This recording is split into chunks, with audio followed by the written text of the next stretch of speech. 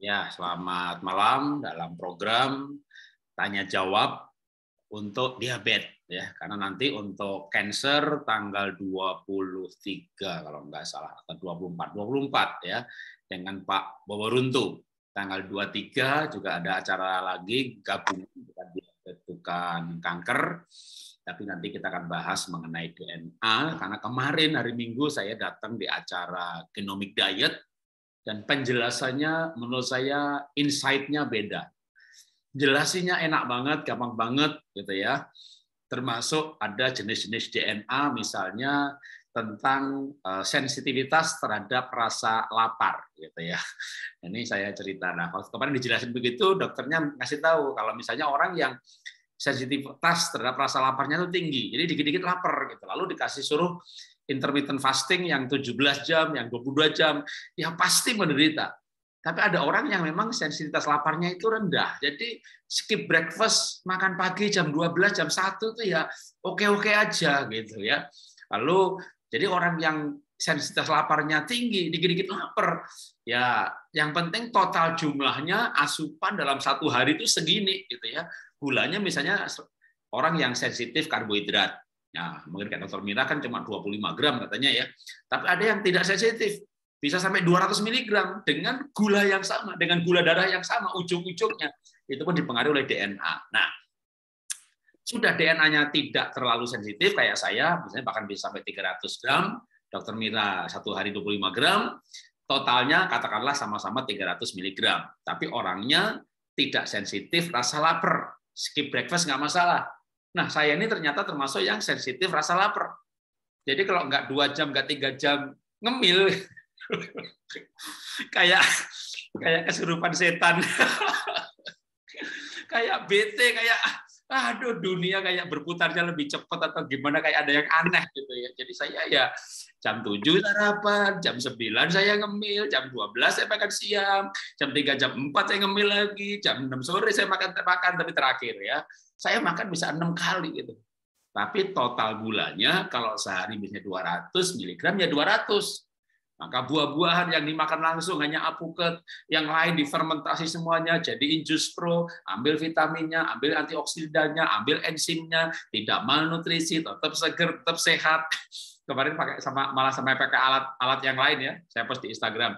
Saya biasanya ke dokter Cynthia, umur saya 44, 45. Kemarin pakai alat yang lain malah umur saya 35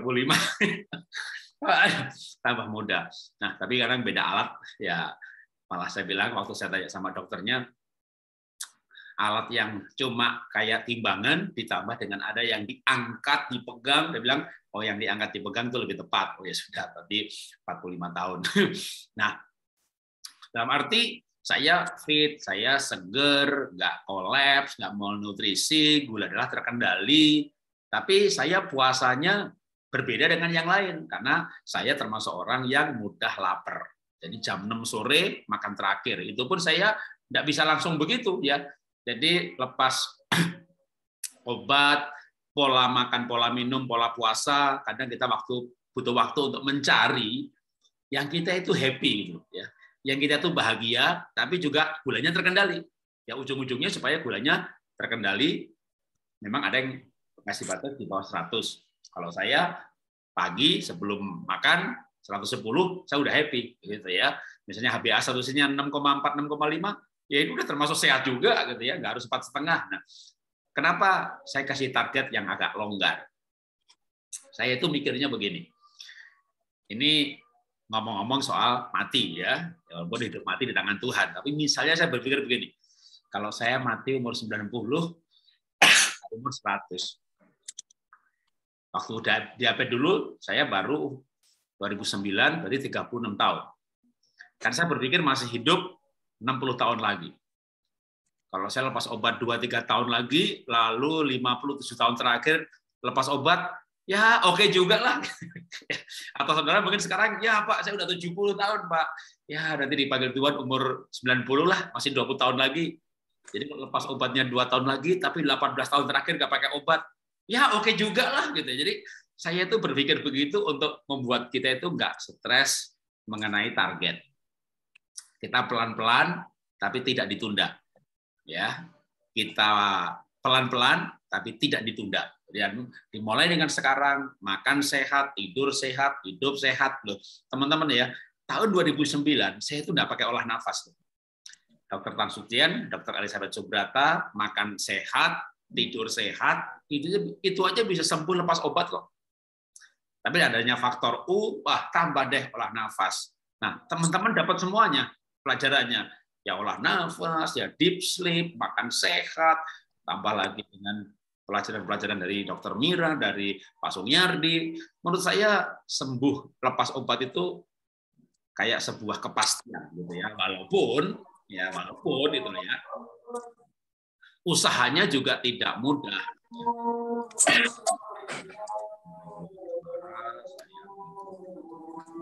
Suara masuk bocor, oke ya. Jadi bilang pasti bisa kalau saya cenderung berkata aja dari bisa dulu tapi nah bisa tapi gitu ya bisa tapi tapinya apa ya kalau mau targetnya lebih cepat nih saya mau pak empat bulan lepas obat. Hebat loh. Saya dulu target setahun aja dua tahun malah saya karena saya berpikir begitu. Waktu saya umur 36 kena diabetes tahun 2009 umur saya kan masih 67 tahun lagi. Kalau 60 tahun terakhir nggak pakai obat juga oh, oke lah tiga tahun lagi lepas obat gitu ya. Tapi ternyata satu tahun. Nah maka dimulai program menurunkan berat badan ke berat badan ideal. Nah selama belum berat badan belum ideal ya gulanya masih fluktuatif Wong cadangan gulanya masih banyak. Tapi begitu gula berat badan, berat ideal, ini dicapai hampir setahun. ya Mulai pola makan dibenerin, pola tidur dibenerin. Bahkan waktu itu saya makan masih jam 9 malam masih makan. Ya, itu aja bisa mengendalikan. Nah, sekarang kembali ke cerita saya waktu kemarin saya uh, ikut pelajaran genomic diet. Oh, ada orang yang sensitif rasa lapar. Jadi kalau dikasih pelajaran puasa yang 17 jam, 19 jam, dia pasti menderita. Tapi kalau yang orang memang skip breakfast saja, makan jam makan pagi, makan sarapan jam 12 siang nggak masalah, ya nggak masalah. Nah, happy itu penting karena bahagia itu ya itu masa kita nggak bahagia, kayak menderita. Eh, padahal selama totalnya itu sama, ya gulanya bakal sama. Ya, total karbohidratnya itu yang kita kendalikan. Nah, maka saya termasuk orang yang mudah lapar. Jadi saya jam 7 udah pasti sarapan. Oh, udah pasti ya. Cuma sarapannya apa? Telur satu atau dua butir sama kopi, kacang kacang almond 5 4 butir, kacang mete 3 butir. Sekarang tambah sejak ikut webinar Pak Bawurun itu semangat lagi biji bunga matahari yang sangre sama biji maluh juga yang sangre bukan goreng ya sejumput udah telurnya satu dipakai daun kelor, yang satu direbus. Udah, gitu aja. Nggak ada hampir-hampir nggak ada karbonnya.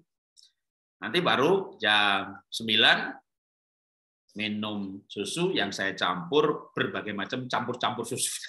Susu almond, susu diabetes, masih saya minum juga. Tak campur bekatul buat sarapan kedua jam 9 dan seterusnya ya jam 3 yang ngemil lagi saya masih makan pisang kepok hijau rebus, saya masih makan sukun rebus, saya malah belum mencoba, tapi rencana mau makan lagi juga ubi ungu rebus, gitu ya. Dan gulanya tetap terkendali 110, 120 pagi. Nah, tentu teman-teman boleh target yang lebih eh, yang lebih hebat dari saya dalam arti ya misalnya ah saya mau target dua digit gitu ya biar cepat HbA statusnya di bawah enam setengah untuk laki-laki, di bawah lima setengah atau atau untuk wanita, dan anda termasuk orang yang ah saya puasa sering kok nyaman-nyaman aja, ya nggak masalah. Ya, jadi sebenarnya intinya setiap orang itu unik. Setiap orang punya akan punya pola yang berbeda-beda. Nah, supaya mengeksplorasinya itu aman, maka bisa standar minimalnya itu bumbu tetap jalan terus, sayur yang diajarkan dokter Mira, sayur uh, batangnya, akar daun bunga, jadi kayak sayur kangkung, sayur bayam boleh, sayur uh, bunga pepaya, berarti bunga boleh kan? Sayur terong, jangan, terong kan buahnya ya. Tapi sayur tetap makan, bumbu tetap makan, apalagi bumbu utama, bumbu yang namanya kalau dari pelajarannya Dr. Elizabeth Jubrata, semua bumbu antioksidan Ya, semua bumbu antioksidan, tapi ada antioksidan kunci, yaitu yang ada di kelapa, ya di santan, dagingnya kelapa, maka santan, yang ada di jahe, kunyit, yang ada di eh, black pepper, ya, yang ada di cabai merah besar atau cabai apa namanya, yang nyebutnya. Kalau kalian gambar itu cabai merah gede, gitu ya. Satu lagi bukan di bumbu tapi di buah, yaitu buah eh, jam jeruk Bali. Kalau mau ditambah satu lagi, sebenarnya sebenarnya manggis. Ya. Nah, ini ada antioksidan kunci. Enggak semuanya harus ada, jadi kalau sekarang kan kalau orang diabetes kebanyakan sarapannya telur, telur, telur. Kasihnya lada, lada hitam aja, sedikit aja. Yang namanya enzim antioksidan itu butuh hanya sedikit sekali. Tapi harus ada. Kalau enggak, akan Anda mengalami guncangan metabolisme. Dalam jangka panjang, nanti dampaknya bisa macam-macam. Jadi kayak yang namanya enzim, katalis, ya itu sebagai katalis, jumlahnya sedikit sekali. Tapi harus ada. Maka yang namanya bumbu-bumbuan juga nggak usah, nggak usah sampai dijadikan minuman atau makanan. Misalnya eh, kayak makan daun eh, Afrika, lalu jamunya eh, biji mahoni, gitu ya, yaitu boleh. Kayak kalau eh, konsepnya begini, yang namanya jamu-jamuan perlakukan sebagai obat. Jadi jangan lepas obat terus minum jamu sama aja. Ya. Suatu saat harus lepas jamu juga yang namanya biji mahoni, pahitnya minta ampun, ya hampir sama dengan pahitnya metformin atau januvia gitu ya. Maka mau makan biji mahoni ini targetnya ya habis dua bulan udah nggak lagi gitu ya. Itu untuk darurat menurunkan gula 300 400 500 menjadi 150. Di bawah 150 udah jamu-jamu lepas semuanya. Ya, karena bagaimanapun juga ya tetap pasti ada pengaruhnya dalam jangka panjang ya suatu yang memang dirancang tidak untuk sebagai makanan yang dikonsumsi dalam jumlah banyak terus-menerus ya. Oke. Eh, kembali soal target ya. Bikin target yang namanya itu target yang realistis ya. Atau target yang namanya target achievable. Jadi misalnya orang berarti 100 kilo dalam tiga bulan atau dalam setahun jadi 40 50 ya nggak kecapai malah stres gitu ya. Kalau misalnya saya turun 3, 3 kilo per bulan begitu kecapai kan wah seneng. Namanya target achievable. Sedikit menyimpang dari diabetes tapi waktu saya punya anak nomor dua hampir nggak naik kelas atau naik kelas bersyarat tak tantang dia. Kalau kamu bisa 15 besar komputernya di upgrade karena anak saya ini hampir nggak naik kelas gara-gara game ediktif bisa nggak 15 besar? Kalau bisa nanti komputer di dia mikir bisa pak gitu. Kenapa dia yakin bisa? Karena dimotivasi mau dikasih komputer yang lebih bagus. Salah.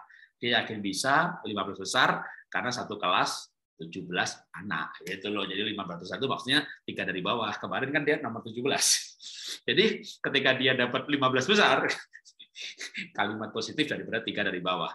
Wah dia weh bisa gitu ya. Semester depan 12 besar 10 besar Oke, singkat cerita, enam tahun kemudian anak saya ranking satu, dua tahun kemudian lagi menang ASEAN Scholarship, beasiswa ke Singapura, 100 orang pandai Asia dikumpulkan, masih 10 besar, jadi akhirnya anak saya itu dari kelas 3 SMP sampai lulus kuliah, 8 tahun sekolahnya gratis, beasiswa full, bayar kuliahnya RP 00, bahkan asramanya gratis, bahkan karena nilainya bagus banget, tiap bulan dibayar 1.200 dolar itu berangkat dari hampir nggak naik kelas. Kenapa? Dikasih target yang achievable, yang membuat rasa ya bisa menang bisa gitu. Jadi kok sama juga Anda punya berat badan, gula darah, Anda bikin target-target sendiri yang achievable. Supaya apa? Saya ini orang yang selalu menekankan supaya happy. Satu lagi cerita sebelum saya buka tanya jawab dan juga kalau dokter uh, dokter Mina Lengkong mau berbagi, tapi teman-teman sudah mulai bisa bertanya ya karena kita malam ini uh, lebih banyak uh, Q&A supaya lebih banyak waktu untuk tanya jawab ya. Satu cerita lagi, ini cerita beneran. Ya semua cerita beneran kalau saya sampaikan ya. Tapi maksudnya belum lama. Hari apa ya? Lupa deh, pokoknya baru dua tiga hari lalu. Saya ke Bogor ke rumahnya Ibu Lydia. Itu bukan ke rumah, ke Tan Ek Chuan ya Ibu Lydia, teman saya ini pemilik generasi kedua dari toko roti Tan X1 di Bogor. Karena dia juga penggiat ekoenzim, dia juga ikut olah nafas, dan saya udah dua tiga kali beli bibit kecombrang. Mati. Lalu dia bilang saya punya pak. Udah tolong disiapin gitu ya. Dia udah siap udah dua tiga bulan yang lalu itu malah sama udah beranak. Wah saya ambil dah gitu. Bibit kecombrangnya. Karena saya googling juga wih mantep nih bumbu yang ini. Antioksidannya juga lengkap sekali gitu ya. Bahkan di WA Group Cancer tadi dibahas mengenai kecombrang. Nah waktu saya ketemu Ibu Lydia dia cerita. Dia punya paman diabetes gulanya waduh 200 300 gitu. Terus cucunya ulang tahun. Ya jadi dia ke rumah anaknya ya untuk di sana. Wah sekalian deh seminggu gitu. Namanya anak ulang tahun kan ada kue tart ada kue-kue macam-macam. Ya dimakan semuanya lah. Ya sekali-sekali katanya dalam hidup ini nabrak-nabrak gitu. Tapi ya agak was-was bawa alat tes gula. Kan biasanya 150 ke atas di atas nih 100, 110, 105 selama seminggu. Dia pikir saya makan nabrak-nabrak kenapa gulanya turun? Terus saya bilang, ya kan ketemu cucu, bahagia, namanya bahagia, hati gembira, obat yang manjur. Berarti selama ini saya stres ya. banyak orang stres tuh nggak sadar. Bahkan di alat pakai alat ukur stres gitu. emangnya alatnya alatnya alatnya bisa nangkep sampai ke motivasi gitu ya. Mungkin alat alat alatnya mendeteksi stres hanya dari frekuensi denyut jantung tapi sampai hati yang terdalam mungkin nggak terukur gitu ya. Begitu dia bahagia gulanya 100 105 makanya nabrak-nabrak Ya ini contoh cerita saja kejadian yang barusan ya beberapa hari yang lalu saya jumpai. Jadi betapa eh, pentingnya eh, apa namanya eh, hati bahagia ya. Oke, saya akan jawab pertanyaan yang ada dulu. Setelah itu nanti saya akan eh, undang Dr. Mira ya. Pas ada Pak Michael Sumiardi juga boleh berbagi sebentar untuk lalu jawab pertanyaan ya. Saya akan Pertanyaannya nggak ada, belum ada. Atau yang satu, Pak, klik DNA ini punyanya siapa sih? ya, kalau sampai ke pemiliknya, sebentar saya ada bukunya sih ya, tapi nggak apa ya. Nanti aku cariin deh, yang pasti bukan punya saya. ya, jadi saya sebagai agen. Jadi klik DNA itu kayak asuransi. Kalau orang ngambil asuransi, dia juga menjadi agen asuransi, bisa ngajak yang lain dapat komisi gitu loh ya. Jadi saya saya pegawai juga bukan ya, tapi saya gabung baru 22 Februari, belum lama sih. Tapi saya sekarang udah nyodok menjadi empat besar ya kalau dimasuk ke websitenya lalu ada namanya leaderboard gitu ya orang-orang yang di situ ada ribuan maka saya sudah masuk empat besar ya teratas gitu ya dan dari Februari tahun ini, tahun ini ya tahun ini saya sudah dapat komisi 108 juta atau 104 juta. Coba sebentar saya lihat karena semuanya bisa dilihat dari HP. Jadi secara online dapat ada setiap orang dapat ID Digo ya, saya tunjukin ya. Oke. Cek komisi. Kelihatan nggak? Waduh, terlalu silo ya. Terlalu silo. Ya, ini ada kalau nggak kelihatan 104 juta 308 ribu ya lumayan Ya, itu pertanyaan soal klik DNA. Pemiliknya, direkturnya, ada sih setiap orang punya bukunya sama saya nggak ngapalin aja. Yang diapalin programnya aja sama gunanya. Ya, belum ada pertanyaan yang berhubungan. Oh, ada satu. Oke, sebentar saya tanya dulu, saya baca dulu. Pak Jarot usia saya 59. sama ya. Saya minggu depan selesai 459 bulan eh bulan depan September masuk ke 60 saya ya. Berat badan 45, tinggi 155. Ya, oke. Okay. HbA1c 5,3, bagus dong. Ya. HbA1c 5,3 udah kategori normal malah. Gula darah puasa antara 110 150. Pertanyaan saya, gula darah saya sering drop. Oh, malah jadi sering drop. Ya. Kalau untuk sering drop, ah, harus hati-hati ya. Karena kan malah nggak boleh nggak boleh puasa terlalu lama, harus dijaga. Kalau orang ada yang uh, udah mulai uh, hipoglimia ya ngedrop berarti malah perlu ke mana pergi bawa. Tergantung ya sebenarnya dropnya itu kalau kayak misalnya dokter Mira kan dia juga tak lihat gulanya sampai 40 60 tapi dia nggak lemes. Kenapa? Karena tubuhnya sudah bisa pandai membakar energi dari keton ya.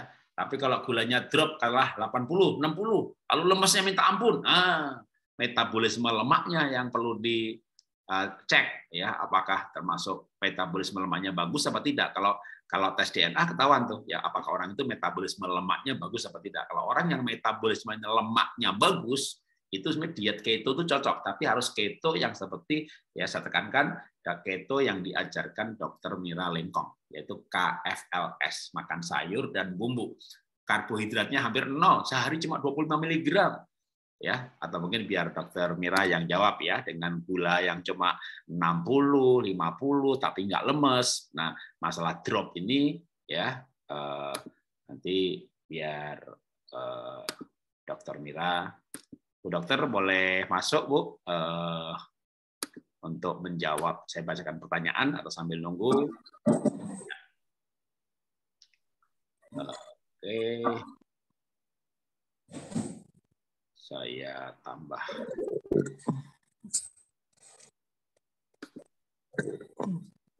Sebentar ya.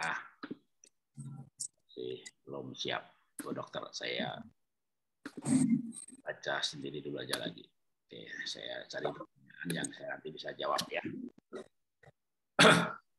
yang soal ngedrop, ya kalau ngedropnya tapi ya ngedropnya tapi geliang dengan gula darah di bawah 100 atau bawah 80 ngedropnya tapi ya memang harus kalau kata pada ibu saya ya ibu saya juga kalau ngedrop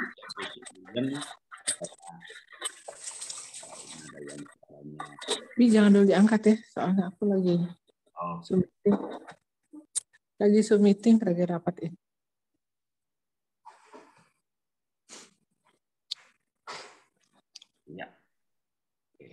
Oh ada suara yang memang ya.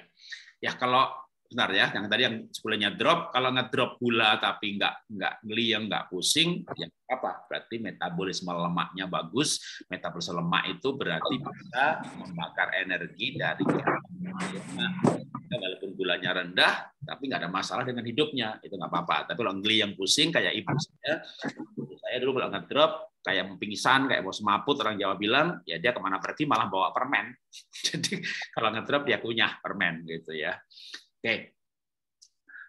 Kasus pradiabet perlu tindakan apa? Nah, orang diabetes jadi kan levelnya lain-lain ya ada diabetes ada pradiabetes biasanya kalau pradiabetes itu dengan atur pola makan aja nggak usah minum obat cepet tuh gampang turunnya dalam arti pola makan low karbo ya pola makan low karbo jam 6 jam 7 makan terakhir ya soal sarapan mau jam 7, mau jam 9, mau jam 12 kalau bagi saya tergantung. Kalau Anda itu happy, nyaman, ya sarapan jam 12 itu yang kayak kayak orang kesurupan itu. Istilah saya itu nggak kayak orang kesurupan. Ada kan yang ya saya termasuk orang ya kalau lapar itu kayak kesurupan. kayak setannya datang. kalau habis makan begini kan enak, ceria, ketawa-ketawa. Kalau lapar, jangan dekat-dekat Pak Jarot ya. Nah, kalau ada orangnya seperti saya gitu ya, ya sudah jam 7 aja sarapan gitu ya. Tapi kalau enggak ya jam jadi kalau yang prediabetes itu lebih gampang mengatasinya dengan mengatur pola makan yang low karbo aja. Saya punya adik, ah gampang. Saya diabetes, kalau adik saya itu pradiabetes, tapi karena pengaruh pikiran dan perasaan sempat sampai 400. Tapi HbA1-nya masih cukup rendah tapi kadang-kadang fluktuatif ke 400. Itu ngasih makannya ya hanya dikurangi nasi bakmi, ya roti, yang buah masih semuanya dimakan, pisang, apel, jeruk dimakan semuanya, olah nafas. Udah. Kemarin saya juga baru dari Bogor, dari Tanekcuan ke rumah adik saya. Enggak, saya udah nggak minum obat ya. Gulanya ya 110, weh hebat loh, karena dia pernah diabetes. Ya. Pak, kalau anemia bisa sembuh dengan olah nafas enggak? Anemia anemia. Uh, tunggu. Anemia kan kurang gizi. Ya. Mesti makanan makanan yang bergizi dong. Ya. Tapi kalau kalau kekurangan darah atau aritmia, ya kalau aritmia jadi jantung nggak teratur bisa. Ya. Kalau untuk eh, apa namanya kekurangan hemoglobin bisa ya aritmia bisa kalau anemia dalam arti anemia kurang gizi ya aja sayur buah lengkap ya dokter Mira punya grup WA khusus diabetes eh, ya grup kita ini ya grup diabetes 1 2 3 dokter Mira ada di situ Pak Sunyardi ada di situ dan menjadi mentor dan menjawab pertanyaan ya. Gula puasa 108 menurut saya ya kalau bisa di bawah 100 tapi kalau 108 masih masuk. Kalau bagi saya ya saya ini standar saya kan cukup agak longgar gitu ya harus nanya udah happy ya Pak suami saya umur 47 tahun ada penyumbatan di pembuluh jantung. Juga ada diabetes. HbA1c 8, cukup tinggi berarti ya. Apa bisa ikut nafas? Bisa ya. Justru justru olah nafas untuk mengatasi masalah-masalah eh, seperti ini ya. Supaya diabetesnya sembuh ya. Masalah jantung juga bisa selesai. Yang penting waktu olah nafas kalau memang masalah jantungnya cukup parah beli oximeter supaya terdeteksi denyut jantungnya. Yang penting dijaga jangan sampai lebih dari 105 itu aja ya. Kalau nggak ada masalah dengan denyut jantung, walaupun ada sakit jantung, tapi denyut jantungnya nggak melonjak lebih dari 105 saat duduk ya. Kalau berjalan nggak masalah 105, lari 110 nggak masalah ya. Itu aman ya. Saya usia usia 61 tahun, gula darah 300-an, wah biasa 8 koma, pola makan saya bagus, mohon infonya, kadang gemeteran. Kalau gula 300 cukup tinggi ya. Nah gini, kalau standar di berbagai komunitas diabetes, untuk lepas obat itu kalau sudah di bawah 150. Ya. Kalau saya bilang di bawah 120. Jadi kalau gulanya masih 200 ke atas, obatnya jalan terus saja. Ya, obat diabetesnya minum terus. Tapi pola hidupnya dibetulin. Tidurnya bisa deep sleep, olah nafas, diet low karbo supaya nanti dengan dengan sama-sama minum obat dari 300-an, 200-an, 150-an, masih tetap terus minum 120. Nah, baru ya mulai lepas obatnya dikit-dikit. Kalau masih tinggi jangan coba-coba lepas obat. Kalau gulanya tinggi itu berbahaya jika ya kolesterolnya tinggi. Selama aku tapi nggak bisa dijamin kan misalnya kolesterol itu selalu apa gulanya selalu rendah apalagi gulanya masih tinggi kalau gulanya masih tinggi kan relatif kental darahnya darahnya kental ketemu kolesterol. Nah, bisa membuat plak. Ketemu asam urat, bisa terjadi eh, kristalnya. Jadi gula gula yang tinggi itu yang bahaya. Kalau gulanya masih 300-an, bahkan bukan 300 ya, standar saya itu di atas 150, obatnya jalan terus saja. Sekali lagi jangan buru-buru lepas obat. Ya, kalau nanti gulanya udah sering di bawah 120, di bawah 100 dan gemeteran, gemeternya karena gula rendah berarti metabolisme lemaknya belum terbentuk. Ya, kan butuh waktu untuk ganti mesin. itu ke mesin solar. Ya, kalau Dokter Mira udah siap, mungkin saya mau minta Dokter Mira berbagi gimana turun mesin. Siap Pak, siap. Oke, kan Dokter Mira ini makan diet karbonya luar biasa, ketatnya di bertahun-tahun gitu ya. Kalau saya gula dua digit aja cari duren.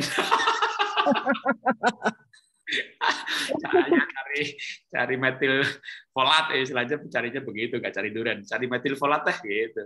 Metil folat itu kan antioksidan yang bagus banget gitu. Jadi kalau saya gula 200 tiba di bawah 100 sudah deh mulai cari-cari yang enak-enak. Ya dokter Mira silakan.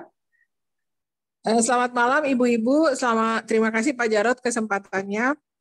Uh, sekedar mereview lagi apa yang sudah pernah saya ceritakan ya Pak. Ya. Bahwa saya mengikuti KFLS itu pertama karena gula darah saya tinggi. Kedua, ibu saya itu meninggal karena diabetes. Waktu wow. itu dia nyuntik, tapi bukan karena penyakit. Jadi komplikasinya begini Pak. Mama tuh nggak ada dia nggak ada komplikasi, tapi waktu dia nyuntik mungkin kebanyakan atau apa akhirnya dia meninggal karena gulanya cuma 30. Waduh, iya iya iya iya. Gitu. Ya, jadi bisa minum uh, double, nyuntik double, betul betul. Betul. Jadi dia sudah dua sudah dua kali punya serangan begitu. Jadi kita tuh selalu menyediakan teh manis di samping tempat tidurnya. Tapi kadang-kadang dia sempat ambil, kadang-kadang tidak sempat. Nah kalau tidak sempat itu terus nggak ada orang di rumah, ya dia nggak bisa ngambil kan Pak, nggak bisa minum gitu. Karena eh, kalau ke kita kekurangan gula itu yang paling cepat itu bukan makanan tapi minuman. Jadi orang lain suka bilang makan permen aja, tapi salah sebenarnya minum teh manis itu atau sesuatu yang manis itu cepat. Hmm. Mama saya tuh pernah satu kali serangan begitu, terus sama keponakan saya, anaknya adik saya tuh dikasih Coca-Cola mulutnya Pak. Betul, jadi langsung sadar gitu. Betul, jadi langsung sadar. Nah, itu concern saya karena saya pernah melihat di depan mata saya ya. Jadi saya itu concern saya, saya berpikir kalau saya nyuntik terus, karena awal saya gula diabetes itu kan, saya disuruh dokter untuk suntik, nggak minum obat. Hmm. Jadi saya bilang, waduh, saya alamat seperti mama saya nih. Bukan saya takut meninggalnya, tapi kalau meninggal kayak begitu, menurut saya meninggal bodoh. Hmm. Gitu Pak. Jadi eh, ya orang pasti semua akan meninggal kan. Cuma maksudnya kalau menurut itu mungkin belum waktunya, tapi karena gulanya sudah rendah, ya mau nggak mau harus terima nasib kan. Jadi saya kenapa saya ikut KFLS? Karena menurut saya jalan saya cuma cuma melalui KFLS bisa maintain gula darah saya. Itu sebabnya banyak teman-teman yang bilang, lu kok itu ketat banget ya katanya. Lu kok bisa menjaga empat tahun itu nggak pernah kepengen mau makan, kepengen mau apa. Padahal dulu Pak, waduh itu hobi makan saya tuh, aduh gimana ya. Saya beratnya 114 itu terakhir Pak. Jadi eh, nggak nggak jangan ditanya hobi makan itu kayak apa gitu. Pagi-pagi bangun, udah ketemu Bibi pasti udah masakin roti roti bakar, udah ada meses tuh, meses, sele. Walaupun dicari lah eh, apa namanya selainya selai yang uh, apa namanya yang produk dari uh, ko, ko, uh, uh, apa namanya yang membuat selai bagus untuk uh, diabetes atau pakai itu sih Pak. Cuma tetap aja menurut saya uh, gula tetap tinggi. Nah, waktu ketahuan saya gulanya 400, Pak. Wow. HbA1 saya 9,5. Oke. Okay. Dalam waktu Nah, waktu itu dokter saya ketemu dokter, dokter bilang coba kamu cek HbA1 HbA1c kamu setiap bulan. Jadi enggak tiga bulan, tapi setiap bulan karena untuk melihat pola makannya. Pola hmm. makannya kita sudah on the track atau belum. Nah, itu sebabnya saya waktu pertama kali ikut keto, saya cek laboratorium, saya cek HbA1c itu 9,5 uh, satu bulan kemudian saya cek HbA1c saya jadi 6,5. Wow. Jadi menurut saya saya sudah sudah on the track mengikuti pola makan seperti ini. Dan sekarang HbA1c saya itu paling tinggi 4,2. Wow. Dan saya apa ya Pak? Ada kepuasan sendiri kalau gula darah saya tuh dua digit. Hmm. Saya berusaha banget, saya nggak mau Eh, ya kayak kayak Pak Jarot bilang kan, Bapak 110 aja udah seneng saya. Kalau udah 110, aduh pasti panik, nggak mau saya Pak. Saya uh, nah, kali duren. dan dan itu kadang-kadang suka muncul pada waktu hari Senin. Senin itu kenapa Pak? Karena Senin itu saya pulang dari Jakarta, habis praktek dari Jakarta, itu start dari Bintaro itu jam setengah 12 malam. Jadi saya sampai di rumah saya di Cianjur itu jam 2. Jadi Bapak bayangin saya bangun besok pagi kan jadi nggak cukup waktu tidur saya. Jadi waktu tidur saya itu, nah dia suka naik tuh gula darah saya bisa 99, 101, uh, walaupun jarang 101, 99 lah paling sering. Saya udah deg-degan kalau segitu.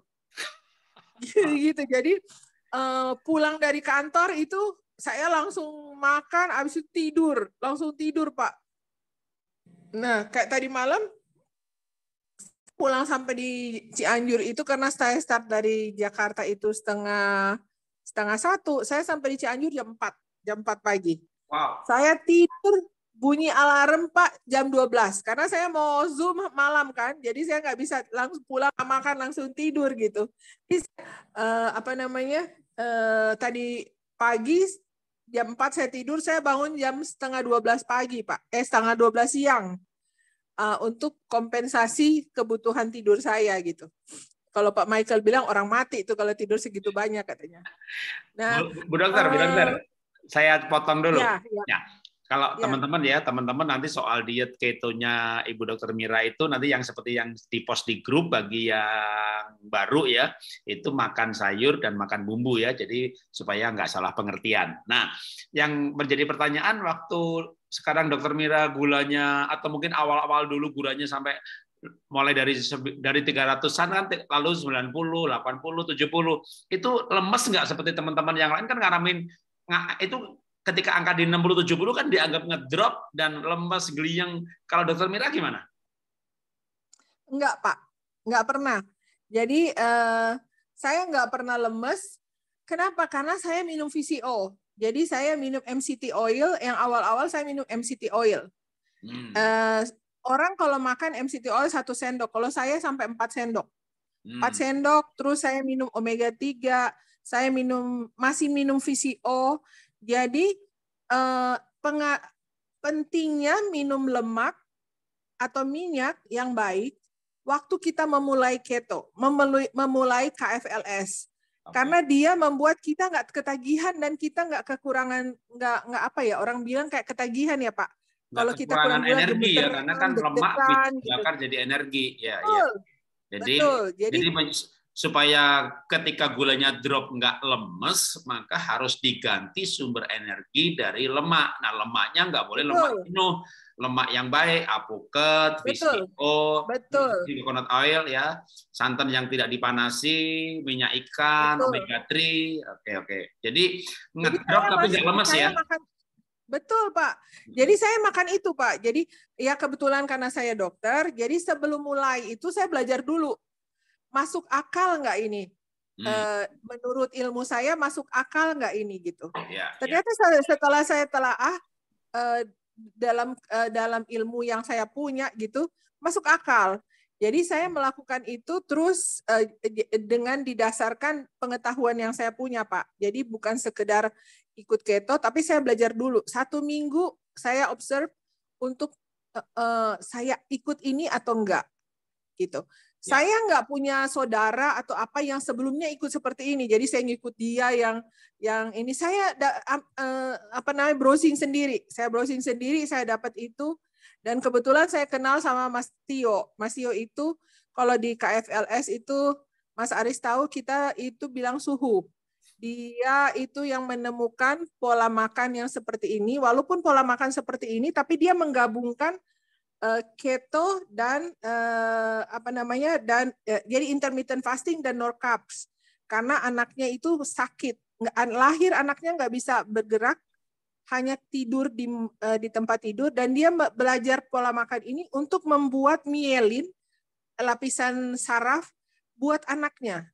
Nah, ternyata itu bisa membantu banyak orang, terutama eh, seperti Bapak tahu mungkin keton itu sangat disuka oleh otak, oleh ginjal, oleh oleh jantung dan uh, oleh organ-organ tubuh yang penting. Nah, itu sebabnya saya wow masuk akal dong ya. Berarti uh, orang stroke, gagal ginjal itu sangat perlu seperti ini.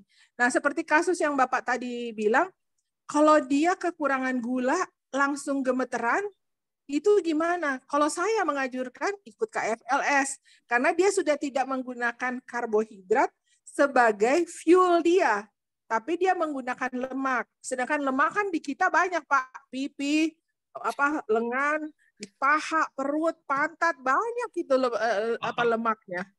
Gitu, Pak. Jadi um, saya sih mengikuti ini pertama saya observe dulu. Itu sebabnya kalau teman-teman tanya dokter, saya boleh ikut ini enggak? Ya pilihan ada di kita, jangan di saya gitu. Saya cuma memaparkan bahwa ini kegunaannya ke, uh, apa pola makannya seperti ini dan uh, apa namanya di saya itu keuntungannya ini ini tapi pilihan tetap saya nggak pernah menganjurkan. Saya tetap bilang pilihan ada di ibu. Karena saya tahu satu satu bulan pertama itu susah pak. Orang ngomongin pizza hut saya bisa ngomel-ngomel. Ngomongin bakmi GM saya bisa ngomel-ngomel. Bu dokter bu dokter bu dokter ya. Kan ya, kalau Pak. tadi diet keto, Bu Dokter bilang jangan takut kalau lemes karena kita lemaknya banyak, ada di pipi, ada di pantat dan lain-lain. Itu kan Bu Dokter overweight 117 kilo. Betul, betul 114 Pak. Nah, sekarang udah 67. Pertanyaannya, gimana kalau sekarang ini bukan overweight? Teman-teman ini udah gulanya tinggi, badannya krempeng, kurus kering, udah badan badan turun sudah malah kebablasan. Nah, lalu lemaknya dari mana dong? Udah itu badan udah gak ada lemaknya. Lemaknya dari lemak baik, Pak, yang kita makan. Yang Misalnya dimakan, omega 3, ya. iya, omega 3, VCO. Dan lemak itu nggak akan nggak akan ini, nggak akan apa namanya, nggak akan habis di dalam tubuh kita. Karena uh, jurnal juga mengatakan bahwa uh, apa namanya karbohidrat itu makronutrien yang non esensial. Jadi sesuatu yang tidak perlu sebenarnya, walaupun dia makronutrien. Jadi begini, Jadi kalau semua... misalnya orang yang kurus, bahkan berat badannya cenderung di bawah sudah di bawah ideal dalam arti maka dia harus betul-betul makan lemak baik yang jumlahnya cukup untuk energi hari itu ya betul betul ya, betul karena kan, itu sebabnya kalau, kalau orang kurus pak kalau orang kurus pada KFLS dianjurkan untuk makan minum uh, minum uh, kaldu hmm. Jadi dia dianjurkan minum kaldu, makan visi, minum VCO, minum MCT oil, pokoknya lemak-lemak baik termasuk kaldu. Iya, iya. Karena kalau enggak kan ya bisa lemes karena gimana enggak lemes, karbonnya dikurangi, lemaknya kurang, energi dari betul. mana gitu kan? Betul, betul nah, itu Pak. Ya, sekarang ada pertanyaan buat Ibu Mira nih dari Ibu Heni ya. Pertanyaan ke Bu Mira, saya pernah keto 2017 dan sempat turun berat badan 16 kilo dalam waktu 4 bulan. 82 jadi 66. Lalu meneruskan dengan low carb dan sampai 2019 bisa stabil antara 68 69. Setelah ada Covid jadi kurang khawatir karena makannya jadi kacau, sudah berusaha mulai lagi tapi malah merasa kurang fit. Sebaiknya gimana? Nah, ini mungkin juga sekali lagi diluruskan ya. Keto yang dokter Mira lakukan adalah keto KFLS tetap makan sayur dan makan bumbu. Nah, saya nggak tahu yang Ibu Heri ini lakukan 2017 itu keto yang mana. Tapi sejak COVID lalu mulai kacau lagi makannya. Nah, sekarang gimana ya cara sebaiknya? Uh, ini mungkin juga untuk informasi buat teman-teman, Mbak, Bapak Ibu sekalian, bahwa uh, jangan sampai kita waktu zaman COVID begini makan jadi berantakan, Pak. Hmm. Terutama makan apa? Karbo. Karena COVID itu seneng sama karbo. Ya, dia jadi COVID itu sebenarnya mirip dengan uh, kanker ya, Pak. Ya. Jadi kalau kita makan karbo, justru itu makanannya dia untuk berkembang, untuk untuk membelah diri, itu justru jadi lebih banyak waktu kita makan karbo. Itu sebabnya kalau di kami di KFLS itu kalau kita sakit kita COVID untuk menghindari keparahan ya Pak, bukan menghindari COVID, menghindari keparahan. Itu dianjurkan untuk mingkem. Mingkem artinya puasa. Terus merem. Merem artinya tidur. Tidur itu juga tidak makan loh Pak. Kan nggak ada orang tidur sambil makan. Yang ketiga relax. Jadi di kami di keto itu eh, kita punya punya WA grup isinya tenaga medis semua. Kami setuju dengan itu, Pak, eh, bahwa eh, untuk menghindari keparahan, artinya pemakaian ventilator, apa sampai kita bisa nggak sadar atau menghindari badai sitokin, itu kita perlu melakukan tiga itu, merem, mingkem, dan rileks. Jadi kalau kalau dia mau mau mengikuti keto lagi, eh, KFLS lagi, gimana caranya? Ya mulai aja start dengan intermittent fasting, no carbs, seperti itu aja Pak. Oke, ya. Teman-teman ada yang bertanya soal kanker, kanker dibahasnya tanggal 23 ya, biar fokus hari ini kita diabetes uh, saja ya. Uh, jangan uh, melebar ke kanker ya. Apakah karbo bisa diganti dengan oatmeal? Oke, saya jawab dulu yang ini. Kemarin Pak Waboruntu seminar mengenai karbohidrat untuk diabetes ya. Teman-teman bisa menyimak ulang webinar bersama Pak Baworuntu yang judulnya protein dan karbohidrat untuk diabetes. Nah, dia bahas oatmeal. Kalau oatmealnya itu yang yang original masih oatmeal uh, full itu indeks glikemiknya hanya sekitar 60 50, nasi 71. Tapi kalau oatmeal yang siap dimakan yang cuma tinggal dikasih air panas diaduk-aduk siap makan itu 81. Justru indeks gulanya lebih tinggi daripada nasi. Jadi kalau mau makan oatmeal itu yang uh, istilahnya itu yang mas yang harus direbus dulu, yang masih raw ya. Jadi dia masih berupa biji yang utuh kalau yang udah siap saji itu sebenarnya bohong tuh. Ya istilahnya istilahnya Pak Warut itu bohong tuh karena itu indeks glikemiknya tinggi loh 81. Jadi menurut saya saya setuju dengan Pak Warut itu jangan minum oatmeal yang siap saji. Ya, kalau mau yang ngambil yang masih full grain ya. Itu bisa disimak ulang di webinarnya Pak Waruntu karena dia kasih contoh gambarnya ya. Walaupun mereknya disamarkan tapi Anda bisa melihat mana yang dimaksud yang IG-nya rendah, mana yang uh, tinggi. Oke, ini ada pertanyaan, pertanyaan, tapi dosis minum VCO sehari berapa sendok ya Bu? Ah, mungkin Bu Dokter Mira bisa perjelas untuk dosis bagi orang KFLS, saya yakin beda dengan dosis yang umum. Karena kalau saya ikut webinar kesehatan yang secara umum, maka dikatakan minyak itu hanya 5 sendok, tapi saya yakin dokter Mira nggak 5 sendok, pasti lebih deh. Iya benar Pak. Waktu pertama itu karena saya gemuk, saya nggak terlalu banyak. Tapi setelah sekarang saya justru banyak. VCO itu, eh VCO, eh, omega 3 itu karena dia kapsul, jadi saya nggak terlalu suka VCO karena dia minum minumnya saya enek ya Pak. Ya. Jadi saya suka omega 3 atau MCT oil. Jadi omega 3 itu saya minum tiga pagi, tiga siang, tiga malam. Wow, Cuma saya, harus harus hati-hati pada saya cuma satu satu satu. Jadi tiga tiga tiga. Tiga tiga. Iya. Wow. Oke. Okay. Eh, cuma harus hati-hati pada orang-orang yang menggunakan eh, pengencer darah. Ah. Karena efek samping dari omega 3 itu mengencerkan darah. Jadi saya minum tinggi eh, tinggi omega 3 itu juga saya nggak minum obat sama sekali nggak minum obat apa-apa. Kalau dulu saya masih banyak obat minum, obat apa gitu. Pengencer darah ya lebih bagus dibuang pengencer darahnya dong. Itu kan betul, obat. Betul, betul. VCO kan makanan bukan obat. Iya, VCO atau omega 3 itu makanan dan dia punya efek samping mengencerkan darah. Jadi itu harus hati-hati pada orang makan omega 3 terus minum oh, apa klopidogrel, eh, kardioaspirin, aspilet gitu-gitu harus hati-hati. Berarti kalau tadi omega 3-nya 3 kapsul, 3 kapsul, 3 kapsul, itu udah lebih dari katakanlah satu kapsul itu dua kapsul satu sendok makan. Berarti udah 6, ya. hampir 6 sendok totalnya. Belum lagi apuketnya, sehari berapa? Betul, sehari dua, Pak. Wow, sehari dua, itu udah minyak lagi. Lalu iya, selain iya, minyak ikan, kapsul, sama apuket, ada sumber minyak apa lagi yang Ibu makan? Uh, sudah itu aja ya.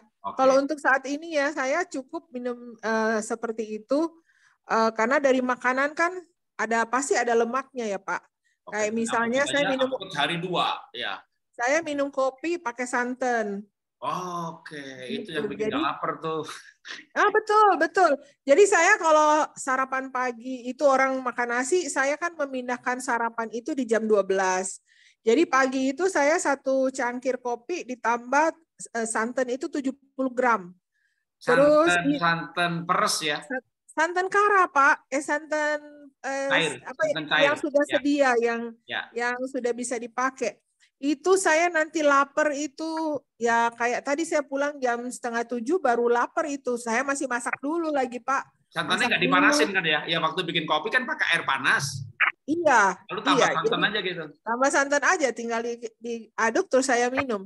Oh, jadi Biasanya jam 7, jam 7 pagi kayak sarapannya eh sarapannya jam 12 tapi pagi jam 7 minum itu gitu ya. Minum itu, minum okay. itu. Nah, uh, mungkin mungkin saya boleh sampaikan Pak, perbedaan keto dan KFLS. Ya. Ya. Kalau keto itu KFLS juga singkatan kan K-nya itu keto. Ya. KF, eh, kalau keto yang murni keto yang dulu saya dulu waktu mahasiswa belajar itu tidak ada puasa pak, tidak ada intermittennya, tidak ada intermittent fastingnya. Hmm. Dia hanya pola makannya yang tidak karbohidrat tapi protein dan lemak itu tinggi. Nah, pada yang saya saya ikutin KFLS itu ada intermittent, ada intermittent fasting dan no carbs. Saya sih berusaha saya sudah sampai tahap kan tinggal maintenance. Tapi saya berusaha selalu makan karbo itu hanya mengizinkan tubuh saya makan karbo tuh 15 gram, Pak. Jadi saya menganggap 15 gram itu ada di bumbu. Jadi bawang merah, bawang putih, terus apalagi ya. Saya sayur suka makan ya. tomat. Sayur saya suka makan ya. Sayur. Saya makan sayur, Pak. Makan saya makan tomat. Tiap hari saya mesti ada tomat satu, ketimun oh. satu. Oh, oke, okay, okay. masih ada karbonnya dikit-dikit lah, ya. I iya, makanya itu saya ya. uh, nggak nggak coba di tempat lain karena saya pikir dari tomat sama ketimun mungkin udah ada walaupun jumlahnya sedikit. Ya, karena timun, tomat ada antioksidannya, ada uh, anti kankernya, ya betul, oke. Okay. Iya, saya hobi banget tuh minum makan tomat. apalagi kalau laki-laki harus wajib tuh buat anti prostat. Ya. Oke, saya lanjutkan baca lagi, Pak. Apakah pasien diabetes pengguna insulin bisa berhenti menggunakannya karena ada yang bilang kalau sudah pakai insulin harus dipakai seumur hidup. Nah, saya contoh, Pak. Itu, itu contohnya dokter Mira lepas insulin. Iya, betul. Iya. Jadi... Saya dulu sebelum makan, sebelum makan mesti nyuntik Novorapid Kemudian malam saya suntik lantus. Jadi sehari empat kali nyuntik, Pak. Wow, bisa lepas. Pak Aris Munandar juga lepas insulin, lepas obat. Iya, lepas. Selama gulanya bisa turun di bawah dua digit, atau kalau dari target saya cuma di bawah 100, target saya kalau 120 saatnya melepas sebagian. Jadi misalnya dulunya obat saya kan sehari dulu empat butir ya seperti pernah saya sering cerita empat butir saya itu satu pagi uh, metformin 1000 mg merek Glucopa yang ada time release ya. Uh, tapi isinya kan metformin pagi 1000 gram sama glimepirid 4 mg. Malam saya Januvia itu Janumet isinya Januvia dan glimepirid, tapi saya ngambil Januvianya ya. Itu 50 mg. Kan ada 25, 50, ada 100. Nah, saya 50. Lalu sama malam sama glukopak lagi, berarti metformin 1000 mg. Nah, ini masing-masing tak pecah dua gitu. Lah, lalu gulanya mulai dikendalikan. Begitu di bawah 120, dikuranginya hanya sepak 4 dipecah dua jadi 8 kan? Dibuang satu gitu ya. Gulanya naik turun lagi. Bisa di bawah 110 konsisten tiap minggu. Hampir dua minggu di bawah 110 lepas satu lagi. Tapi masih empat macam terus. Jadi pelan pelan ya. Sampai tiga empat bulan lima bulan enam bulan baru bisa lepas. Total enggak juga. Karena kalau saya dua digit makan apa nabrak kadang ngalamin nabrak kebablasan naik. 130 minum obat lagi gitu. Tapi saya santai saya orang itu nggak stres nggak sedih. Ya tinggi obatin aja gampang durian enak. Pisang goreng juga enak gitu ya. Tapi sekarang saya nggak bisa goreng bisa rebus. Jadi saya masih nabraknya tapi saya nggak mau nabrak bakmi roti nasi itu hanya karbohidrat murni. Ngapain ditabrak Mangga ada ada antioksidannya bagus. Manggis orang kanker aja ada yang disembuhin pakai makan manggis terus-terusan sembuh. Berarti antioksidannya kan tinggi sekali. Saya memang bukan kanker, tapi kan saya perlu butuh antioksidan. Jadi kalau manggis Nah, tapi kadang kalau makan manggis sama kulit bagian dalamnya gitu ya. Jadi kalau ya, saya betul. saya 100 itu berani nabrak-nabrak. Ketik nabraknya kebablasan, ya minum obat lagi. Saya nggak merasa berdosa minum obat. Maling itu dosa, bohong itu dosa. Jadi gaya saya ini gaya yang istilahnya itu santai lah gitu ya. Tapi ujungnya jelas. Kalau udah begini terus konsisten, lama-lama makin jarang makan obatnya. Dari makan obat 4 butir, dipecah jadi dua, jadi kayak anggap aja delapan, lalu berkurang, berkurang, berkurang, masih empat macam, tapi udah masing-masing separuh gitu ya. Lalu akhirnya berkurang lagi, berkurang lagi, tinggal benar-benar seper dibanding dulu udah tinggal seperempat. Ini saya masih saya pertahankan terus, yang penting gulanya stabil ya kalau mau dietnya nggak seketat Ibu Dokter Mira. Kayak saya masih ya happy-happy. itu pilihan ya. Tapi menurut saya menurut saya sama. Obat dan insulin itu perlakuannya sama. Kalau oh, misalnya gulanya udah di bawah 100, ya ngapain suntik insulin? Gitu ya. Tapi kalau gulanya masih di atas 120, jangan suntik dulu terus ya. Eh, sampai nanti akhirnya lama-lama kita tuh benar-benar mengendalikan. Maka tiap hari mesti rajin ngetes ya. Oke, kita lanjutkan lagi. MCT itu apa ya, Bu? Oh, tadi disebutkan minyak uh, Bu Mira nyebut MCT. Uh, VCO kan virgin coconut oil, minyak kelapa murni ya VCO. Lalu olive oil. Uh, tadi mungkin nyebutnya VCO atau M MCT ya Bu ya? MCT itu minyak namanya um, medium uh, medium chain straight. Jadi itu biasanya kita suka beli di toko obat, toko-toko obat-obat apa vitamin tuh kalau ada ya di apa namanya? di mall-mall kan suka ada. Kita tinggal beli MCT oil di situ. MCT atau beli oil. di oh. iya, atau beli di uh, apa namanya? Uh, di online. Oh, Sekarang juga ada, apotek juga ada berarti ya. Betul, betul. Oh, okay. Namanya medium chain, chain itu rantai. Jadi jadi uh, T-nya trade, Pak. Wah, boleh juga tuh. Coba-coba ya. Kan orang lain yang udah sukses kan perlu ikutin. Siapa tahu bisa dua digit. Ya saya happy dengan 100 ya kalau 90 senang banget. Karena begitu serang begitu eh, kalau 90 senang banget kenapa? Cari durian. Durian banyak sekarang pak Ya, oke, okay. lanjutkan lagi. Dokter Mira, saya sekarang minum Plavix satu kali sehari, siang, setelah makan siang. Fish oil satu kali siang, satu kali malam. Nah, kurang kali ya. Gimana menurut Ibu dokter, apakah harus dihentikan plaviknya? Yang fish oilnya satu kali siang sama satu kali malam. Ya, fish oil juga saya pagi cuma satu, siang satu, malam satu. Bu dokter tiga, tiga, tiga. Wah, kayaknya perlu dua-dua nih saya nih. Iya. Tapi ini plavik apa perlu dihentikan? Nah, nggak tahu nih gulanya berapa dia. Plavix itu untuk pengencer darah, Pak. Oh, oke. Okay. Jadi Plavix itu pada orang-orang yang minum oh, pengencer darah atau sakit manya, Plavix itu bagus gitu. Uh, dilihat aja sekarang ibu minum ibu atau bapak itu yang minum Plavix terus minum uh, omega 3 ada perdarahan nggak? Misalnya sikat gigi, terus ada uh, perdarahan ya berarti omega 3-nya dikurangin atau plaviknya yang di stop gitu, Pak. Iya, itu sih kalau menurut saya. Ya mah plaviknya aja di stop, tambahin minyaknya. Plavik bukan makanan. Minyak ikan omega 3 makanan. Mendingan mengganti obat Pak. makanan gitu. Betul, saya setuju itu, Pak. Ya. Ini ada pertanyaan, saya jawab deh. Minum kopi dicampur kefir. saya nggak kebayang rasanya gimana. Oh, iya, karena enggak enak Pak, asam atuh. Iya, kopi asam, kefir asamnya minta ampun. Jadi kalau mau menyampur misalnya kopi dengan santan tadi masuk akal. Si santan kan gurih ya. Harusnya asamnya pasti berkurang deh, asamnya kopi. Karena kok santan kan gurih. Jadi kalau dia minum, kalau mau kau kefir, campurnya itu campur makan pagi, makan siang, makan malam. Pokoknya jam makan Makan siang, makan 5 sendok kefir. Nah, atau begini. Waktu makan siang, makan malam, minum kefir ya atau jus pro, kan banyak orang tuh nggak tahan asem. Itu diencerkan dua kali aja udah asemnya asemnya berkurang banyak. Jadi misalnya mau minum segelas, dikasih air segelas, ya. Lalu jadi dua gelas itu diminum ya bersama dengan makan. Karena kalau diminum bersama makan itu mengurangi kerja lambung dalam produksi asam lambung, ya.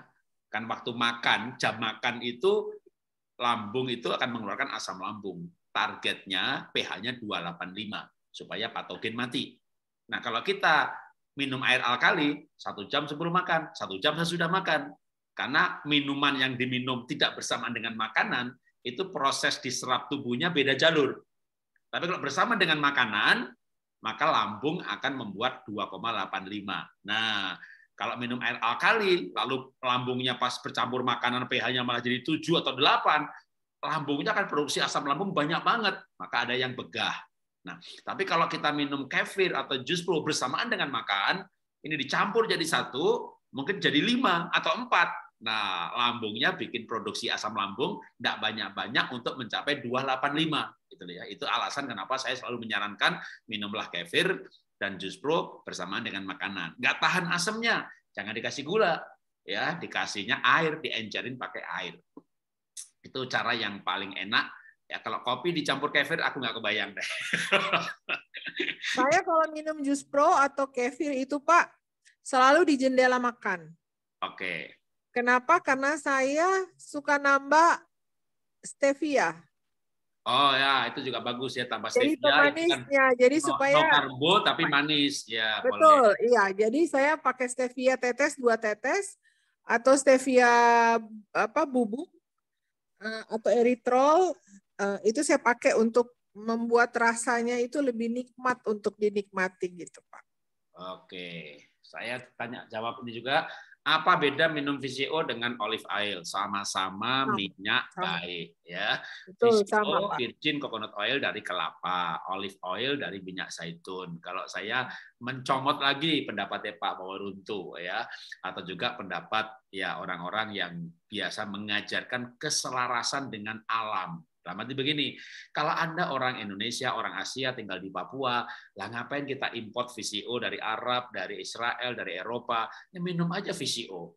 Tapi kalau kita pas pergi jalan-jalan ke Eropa, ya nggak apa-apa juga. Tapi sebenarnya dari alam kembali alam, dari tanah kembali tanah, kita makan cari cari antioksidan nggak perlu blueberry yang impor beli uh, apa namanya uh, uh, buah ceplukan atau kersen atau stroberi yang ditanam di puncak tanahnya tanah. Bukan soal nasionalis tanah Indonesia ya tapi kita itu ada keselarasan dengan alam. Jadi sebenarnya yang terbaik itu adalah yang memang diproduksi di mana kita tinggal. Itu kalau kita pakai ilmu keselarasan alam. Tapi kalau anda misalnya ya tinggal di Jakarta di kota besar cari visi oh di sini gampang kok pak gitu ya nggak apa-apa juga. Sama-sama satu kelompok jenis sama-sama lemak yang baik. Ya itu lemak baik. Jadi eh, mana yang lebih bagus? Sama-sama bagusnya ya. Sama-sama bagusnya. Dokter Mira apakah saya eh apa saja yang boleh dimakan dalam program KFLS oke. Ini udah dijelasin ya tapi oh, kalau nggak dijawab lagi nggak apa-apa Uh, iya Pak, sebenarnya ada di YouTube yang uh, rekaman dari ya itu ya Pak.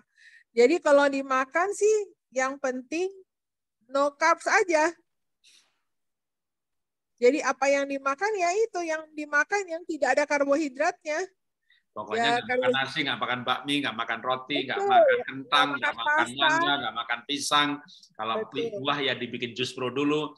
Kalau sayur kan sayur yang daun daun daun dan bunga masih boleh ya daun, batang, dan bunga, Pak. Ya, jadi sayur bayam, sayur kangkung, sayur bunga pepaya, sayur terong jangan. Sayur jangan, babu, terong jangan. nggak boleh. Ya. Wortel, wortel itu boleh tapi dalam dosis kecil. Jadi kalau menurut saya ya udah skip aja karena terlalu kalau orang Manado bilang nanti cuma bikin tai gigi, Pak. Sayur toge boleh. Boleh, boleh. Toge boleh. boleh daun bawang boleh. Lalap-lalapan aja itu daun semuanya kan. betul kan? lalap-lalapan itu antioksidan tinggi juga kan bukan buahnya antioksidan enzim. Jadi kalau sayur dimasak enzimnya rusak. Buah matang banyak gulanya banyak vitamin. Buah mentah betul. banyak enzim. Tapi kalau kita nggak makan buah ya udah. Lalapan.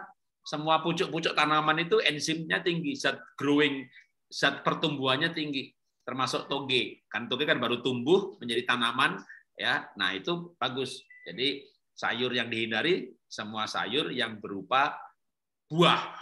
Ya, itu kalau buah kita dan umbi, Pak. Umbi-umbian. Nah, itu kalau kita bicara KFLS.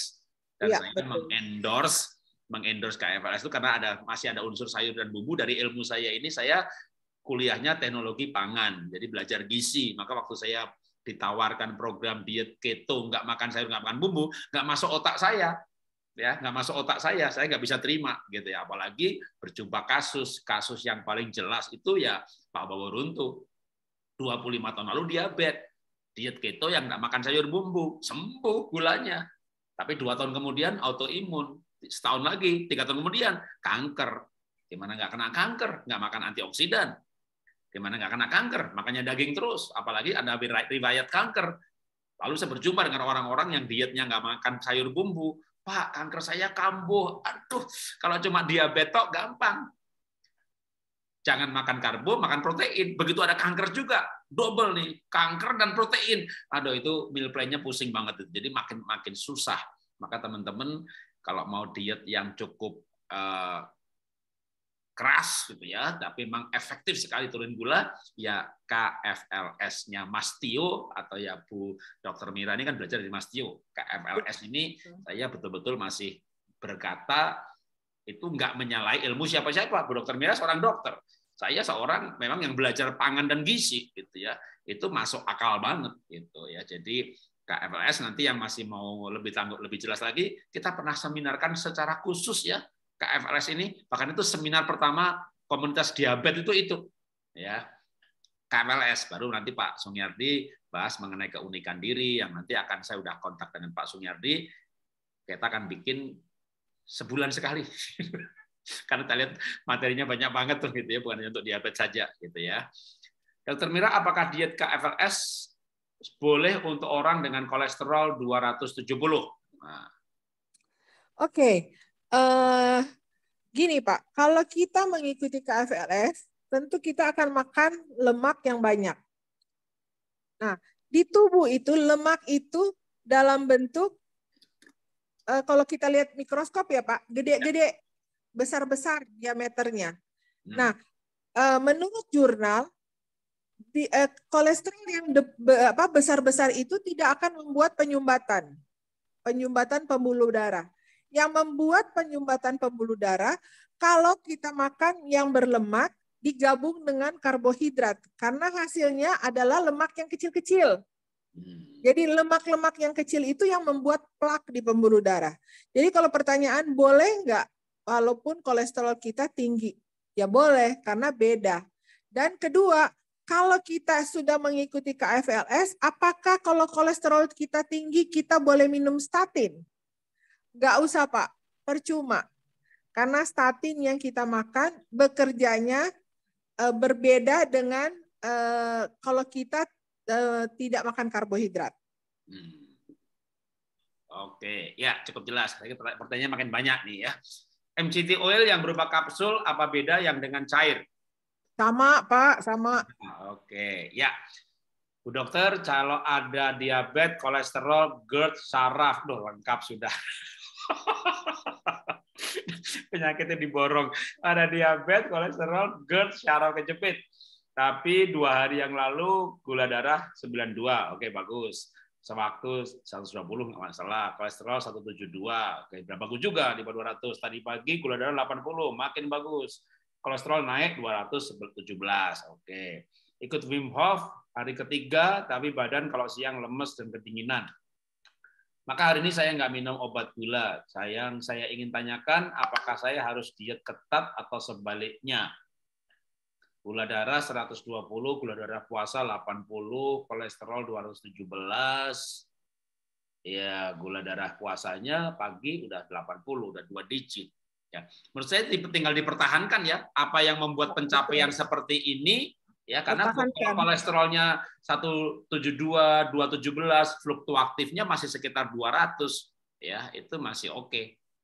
Iya. Apalagi kalau kolesterolnya tadi dirinci lagi, nanti masih akan ketemu kolesterol baik, tidak baik. Nah, kalau selama ini lemak yang dimakan yang baik-baik, nanti tuh kolesterol juga akan cepat turun ketika karbonnya kurang, maka lemaknya akan dibakar jadi energi. Jadi eh, dengan standar dua, kalau non orang nggak diet KFLS, wanita kan 180, laki-laki 200 kolesterolnya. Tapi kalau Anda memang nggak makan karbo, kolesterol sampai 220, 250, perempuan 220, laki-laki 250, dengan cepat juga akan turun lagi.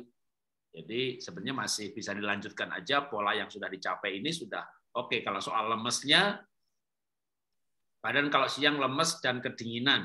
Nah ini karena mungkin ada faktor GERD, ya pelan. Karena gini tidak mudah perubahan pola hidup.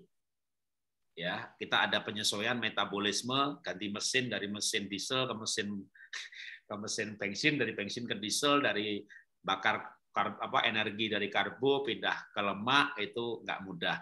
Ya atau kalau misalnya tetap bakar dari karbo selama makan yang di yang dimakan tidak melebihi yang dibakar itu juga akan mencapai keseimbangan sebenarnya. Tapi kalau kalau mau kayak saya yang karbonya masih ada makan buah, makan pisang kepok segala macam, begitu gulanya di atas 120, katakanlah 150, 160, harus tanggung jawab. Tanggung jawabnya apa? Jangan obat misalnya. Tanggung jawabnya apa? Olahraga. Renang, lari, jalan. Tapi emang repot ya. Kalau udah tapi lama-lama kita tahu nih, oh pisang kepok satu nggak masalah, dua naik. Gitu. Lama-lama nanti kita tahu ya kalau misalnya awal-awalnya mau rajin ngetes nggak apa-apa untuk menemukan polanya. Begitu udah ketemu teruskan ya, udah ketemu teruskan. Oke, saya baca lagi. Pak, saya ya. mau nambah Pak ya. tentang olahraga pada orang diabetes. Ya. Supaya gulanya banyak turun, pergunakan otot yang banyak Pak. Hmm. Jadi kalau kita uh, gula darahnya cuma naik sedikit lah gitu ya, gula darah puasanya misalnya 110, itu kan tinggi ya, harusnya di bawah 100. Kita cukup sambil nonton TV, duduk, kemudian berdiri. Duduk, berdiri. Itu cukup karena ototnya hanya dipakai otot paha.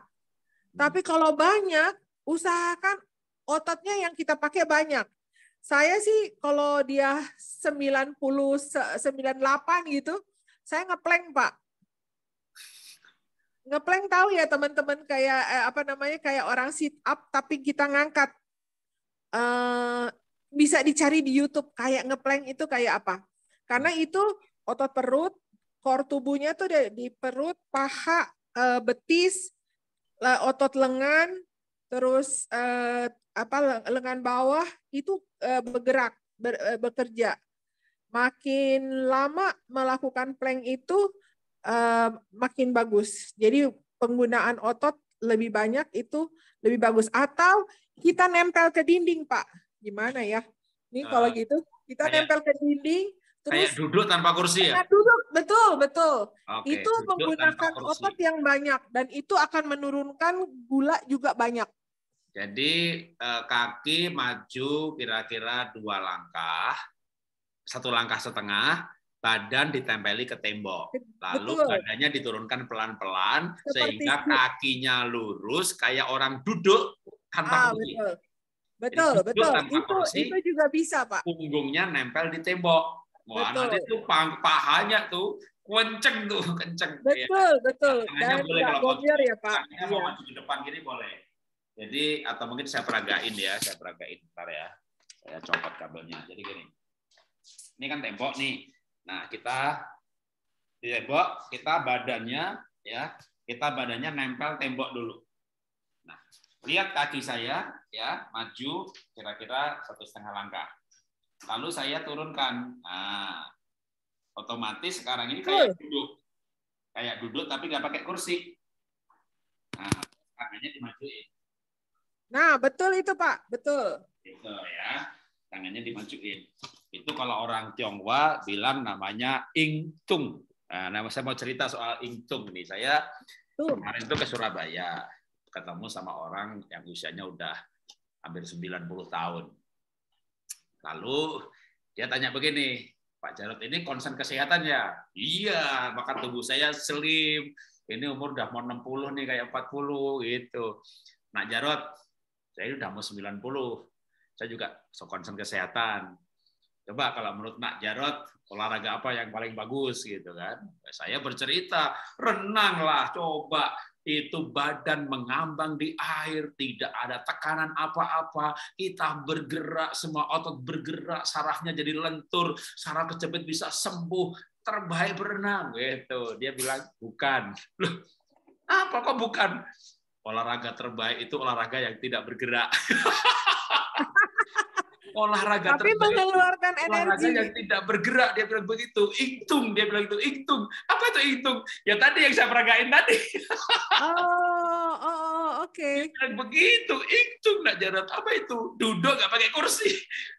Nah itu yang umur bisa tadi kayak tadi di tembok ya. Tapi kalau misalnya nggak pakai tembok pun kalau yang muda nggak apa-apa ya. Tapi agak susah agak berat Nah, coba ini sambil cerita ringan aja biar malam ini nggak terlalu serius ya.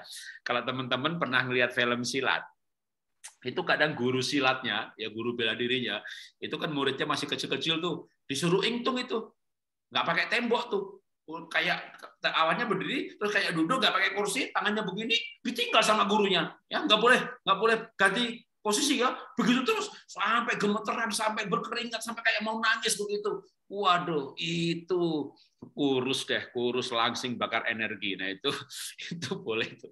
Kalau gulanya tinggi itu ingtung. Betul betul itu pak. Itu dan dan itu sangat membantu menurunkan gula. Cukup banyak. Karena ototnya banyak dipakai. Sip, kita lanjutkan lagi. Bu dokter, saya diabetes, ginjal juga mulai terganggu, ureum, kreatinin tinggi, juga ada benjolan di leher, getah bening.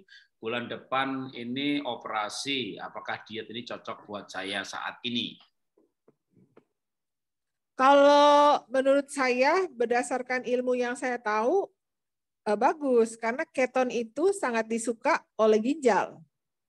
Hmm. Jadi bagus teman ginjal ya. Betul, dia akan membuat eh, kemungkinan cuci darahnya jadi lambat, Pak.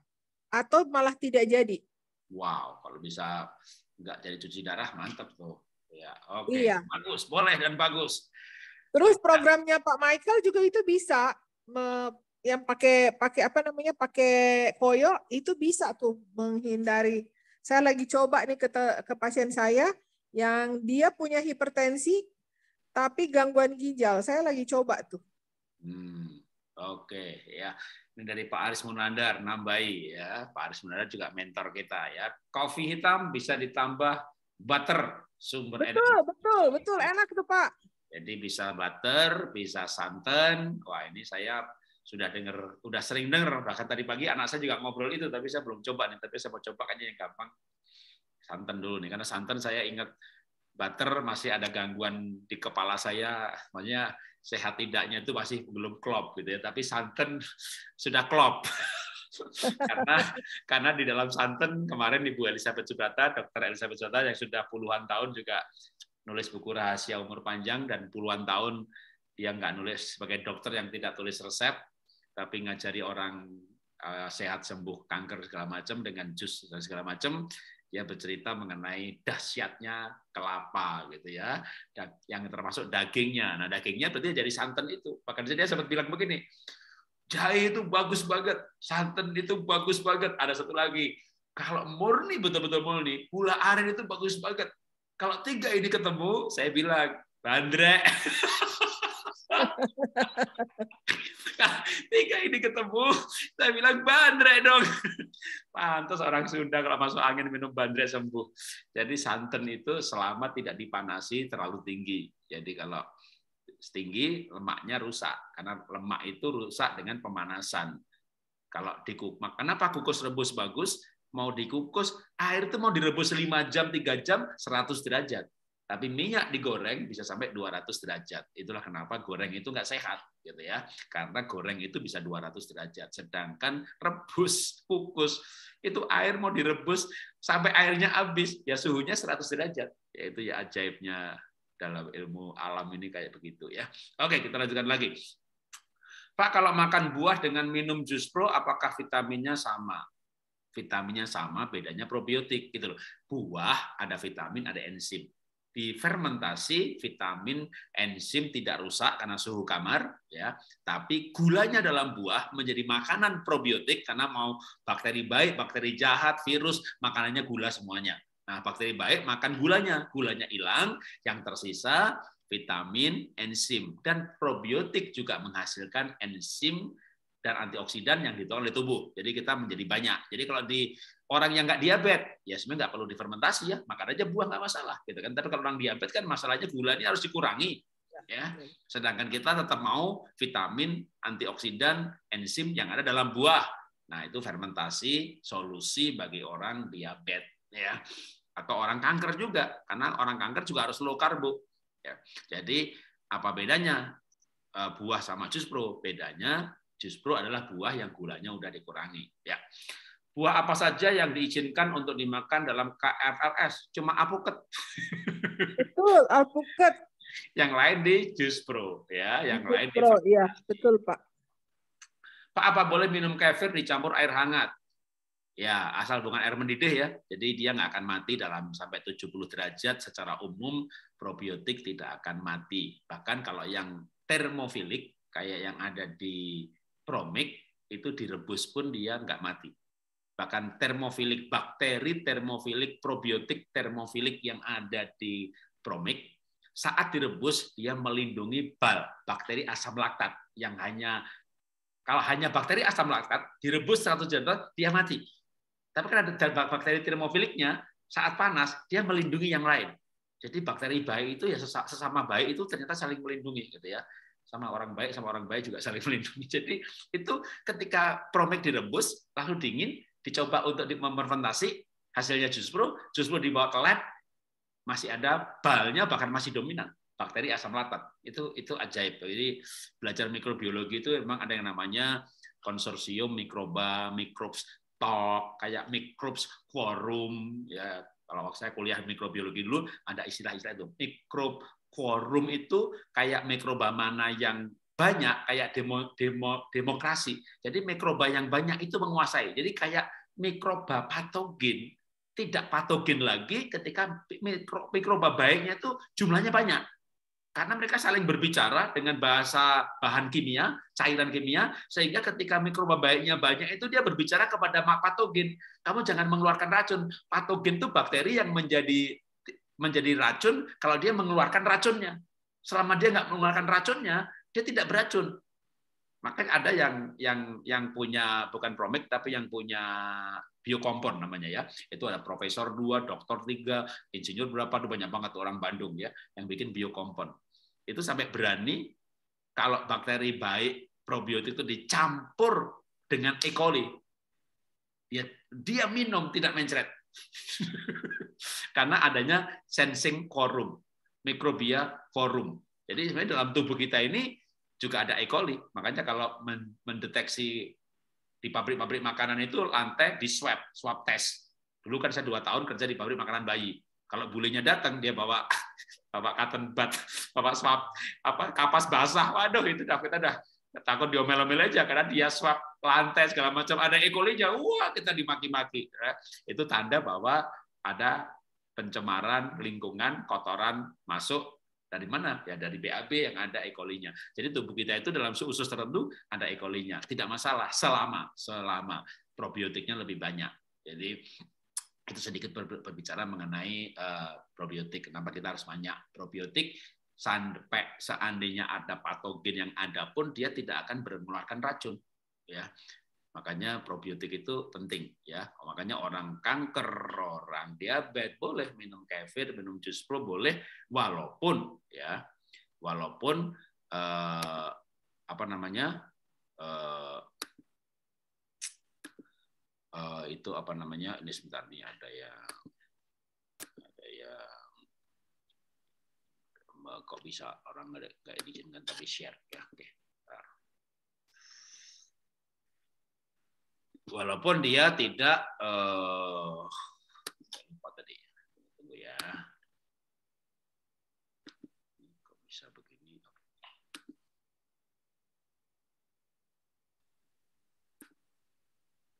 sebentar Oke, saya baca kalau chia seed apa boleh untuk penderita diabetes? Boleh ya. HbA1 saya 5,9, tensi cenderung rendah. Tensi 96100, oke masih masuk normal sih. Kolesterol total 400. Wah, ini dia. HbA1c 5,9 sudah normal, sudah enggak sudah enggak diabetes sebenarnya ya. Kalau 5,9 tensi masih termasuk normal juga kalau 9 sampai 100 ya cenderung rendah sih ya 110 120 normalnya. Tapi kolesterolnya 400. Wah, ini Dokter Mira boleh bantu lagi kalau bagi saya ya kalau menurut saya itu ketinggian. Ya, sekalipun untuk di skala keto atau KFLS sekalipun ya. Bagi teman-teman yang masih asing dengan istilah KFLS, sebenarnya di sebuah grup itu pernah di post. Misalnya saya ngepost rekap untuk diabetes ya. Bahkan grup yang baru daftar belum mulai pelajaran pun saya post sambil menunggu belajar olah nafas, ini rekap diabetes, ini rekap kanker. Nah, di situ ada KFLS ya. Itu Kalau yang di grup diabetes bahkan sering saya post sebagai file terpisah gitu ya. Ini modul eh, KFLS ya. Yang kolesterolnya 400 menurut saya ya mesti kurangin makanan-makanan yang mengandung lemak ya. Sementara bisa dikurangin dulu, akan bisa dihentikan supaya turun paling tidak 250 walaupun kalau standar dokter secara umum kan 200 untuk laki-laki, 180 untuk wanita. Tapi bagi orang yang memang KFLS atau keto itu bisa sedikit 50 poin di atasnya karena memang dia membakar eh, lemak untuk sumber energinya. Tomat dan mentimun kok boleh. Jadi gini, dalam KFLS yang dimakan sayur hanya batang akar bunga, tapi kalau buah itu terbatas. Dalam arti misalnya gini, timun itu kan kayak kayak kayaknya buah. Jadi buah-buah itu selain apokat juga sebenarnya kiwi, tergantung tergantung gula darahnya berapa. Jadi dalam diet untuk mengendalikan gula, maka tentu tolok ukurnya itu gula. Kalau misalnya Anda gula darahnya 80. Mungkin buahnya bisa diperbanyak yang dimakan bukan hanya apuket, tapi misalnya jambu kristal. Jambu kristal itu gulanya cukup rendah ya. Lalu pisang kepok, tapi harus pisang kepok yang hijau, nggak boleh yang kuning, nggak boleh pisang raja. Kalau Pak Waworuntu mengatakan bahwa dalam pisang guruho, bahkan di Sulawesi Utara, pisang guruho itu untuk obat diabetes, walaupun dia pisang. Kenapa? Dalam pisang ada semacam obat diabetesnya. Sama juga pisang kepok hijau. Ya, Pak Warun itu yang pernah menyebutkan namanya saya lupa nama zatnya apa. Nah, kayak gitu sebenarnya kita tuh boleh. Ya, jadi kita makan obat buahnya itu tapi jangan mangga, jangan nanas, jangan pisang yang manis, pisang raja, pisang ambon, pisang eh, itu jangan semuanya gitu ya. Lengkeng, duren, uh, duren sekali-sekali boleh karena ada metilfolatnya. Lengkeng, rambutan ya, betul-betul itu tidak sama sekali atau ya boleh asal di fermentasi ya kayak makan langsung. Nah, kayak wortel masih dalam jumlah terbatas boleh kalau mau mengambil karena dok wortel itu sebenarnya juga ada untuk detok ya, untuk membantu detok. Tomat ada likopen. Ya, likopen juga antioksidan yang bagus. Jadi kalau toh mau makan itu kalau ngerti dasarnya boleh ya, apalagi kalau misalnya gulanya udah dua digit. Menurut saya sebenarnya Anda boleh boleh mengembangkan makanan buah-buah yang terutama tidak manis. Kayak salak. Salak juga tidak manis ya. Yang gulanya rendah anda boleh makan ya. Protein hewani apa yang boleh dimakan dan menaikkan tidak menaikkan kolesterol dan asam urat? Ya yang sebaiknya terutama juga tidak menaikkan eh, darah tinggi nggak menaikkan pH ya daging yang jangan warna merah Orang kanker kan nggak boleh makan daging merah. Kenapa? Nanti pH-nya turun, ya menurunkan asam, menurunkan pH. Maaf ya kembali bukan menaikkan, menurunkan pH. Yang tidak menaikkan kolesterol, yang naikin kolesterol kan lemaknya, lemak yang tidak baik. Lemak tidak baik itu apa? Jeruan misalnya, ya goreng-gorengan, atau kalau misalnya makan soto kuahnya banyak mengandung purin, purin nanti asam uratnya yang naik. Tapi kalau makan kacangnya itu rebus, polong-polongan rebus, kukus, sebenarnya tidak bikin asam urat. Yang banyak bikin asam urat justru malah goreng-gorengan ya yang mengandung purin. Nah, kalau protein hewani, kalau saya mengambil gampangnya ya, yang kemarin dokter Elizabeth Dubrata ngajar, itu bagus banget sebenarnya ya. Gampangnya itu kalau yang Islam ya, istilahnya makan daging yang halal. Kalau yang Kristen sebenarnya istilahnya bukan haram haram halal, Ya, Taurat itu kalau misalnya nipu duit, duit hasil penipuan itu haram, betul. Tapi kalau babi itu disebutnya sebenarnya unclean. Dalam terjemahan King James bahasa Inggris itu unclean, tidak bersih. Nah, atau ya di, kalau bahasa Indonesia, Alkitab bahasa Indonesia ya diterjemahkannya ya haram juga. Nah, gampangnya sebenarnya yang paling enak, paling gampang itu makanan protein yang sehat itu yang mana? Yang halal. Ya, kemarin dokter Elizabeth Subrata yang nggak nyimak, tolong disimak link link YouTube-nya sudah ada di WA Group juga ya, yang rahasia umur panjang haram vs halal. Itu judul yang saya tulis sebelum link YouTube yang saya berikan. Itu dokter Elizabeth Subrata memberikan daftar kesehatan daging berdasarkan indikator jumlah dan jenis mikroba jahatnya patogennya. Maka semua yang haram itu tidak memenuhi standar kesehatan. Nah, semua yang tidak sehat itulah yang membuat kolesterol tinggi karena lemaknya tidak sehat karena lemaknya nggak bagus dan seterusnya ya itu paling gampang ya Dokter Mira berapa sebaiknya minum VCO sehari? Tadi kalau Dokter Mira kan nggak nggak pakai yang disendokin, yang di kapsul. Dia tiga kapsul pagi, tiga kapsul siang, tiga kapsul malam. Itu tiga kapsul itu berarti kayak satu setengah sendok. Berarti totalnya kayak ya masih kayak dari sumber yang minyak langsung empat setengah atau hampir lima sendok, tapi ditambah apukatnya dua ya sehari. Jadi kalau mau pakai standarnya dokter Mira ya berarti tiga kapsul pagi, tiga kapsul siang, tiga kapsul malam. Saya selama ini cuma satu satu satu gitu ya. Kayaknya saya boleh juga teman naikin dua dua dua. Ya. Omega 3-nya yang diminum tiga kali minum berapa miligram? Ya, kalau omega 3 itu kapsul itu kan standar ya. Itu boleh yang eh, tiga ya. Oke, ini ada pertanyaan lagi untuk Dokter Mira, tapi saya nggak tahu Dokter Mira apakah ke mental keluar. Ada kok ada, ya masih ada. Oke, saya pin juga. Oke, saya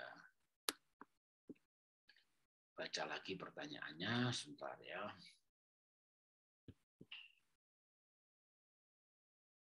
Selamat malam Dokter Mira, saya dahulu minum Janomet 100 eh, strip 1000 mg. Ya, Janomet berisi Januvia dan Glineperid ya. Uh, Janomet itu nama merek kan kalau isinya kan Januvia. Uh, dan minum obat kolesterol simvastatin selama 2 tahun.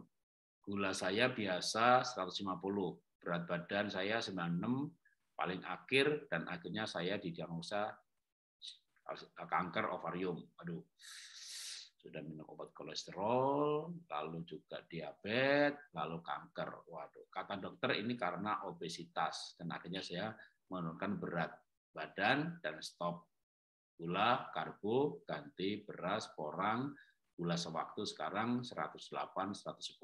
Kalau bagi saya udah bagus. Kalau dokter Mila bilang dua digit. Sekarang saya hanya minum metformin 500 di siang atau pagi. Udah bagus gulanya ya. Tapi kolesterol saya masih 280. Apakah saya perlu minum obat kolesterol lagi? Dan sekarang saya kalau bangun tiba-tiba sering pusing. Oke. Kalau dokter Mia belum ready, saya jawab dulu ya. Kalau gula, kalau kolesterolnya 280 sebenarnya pengalaman mertua saya, istri saya, kalau di atas 300 bisa dengan obat, di bawah 300 sudah bisa dikendalikan sih kolesterol dengan apa? Dengan berjemur jam 10 pagi. ya Tambahin vitamin. Karena kolesterol itu sebenarnya bahan baku hormon. Kalau metabolisme hormonnya bagus, maka kolesterolnya akan kepakai. Atau metabolisme lemaknya bagus, maka kolesterol akan kebakar untuk menjadi energi supaya lemaknya kebakar, karbonya dikurangi. Tapi sih udah benar ya dengan udah diet dengan mengurangi karbo. Karena kalau selama karbonya ada, karbo akan dibakar duluan untuk jadi sumber energi. Ketika karbonya dikurangin, maka lemaknya akan dibakar. Nah, pembakaran lemak akan dibantu oleh adanya vitamin D aktif.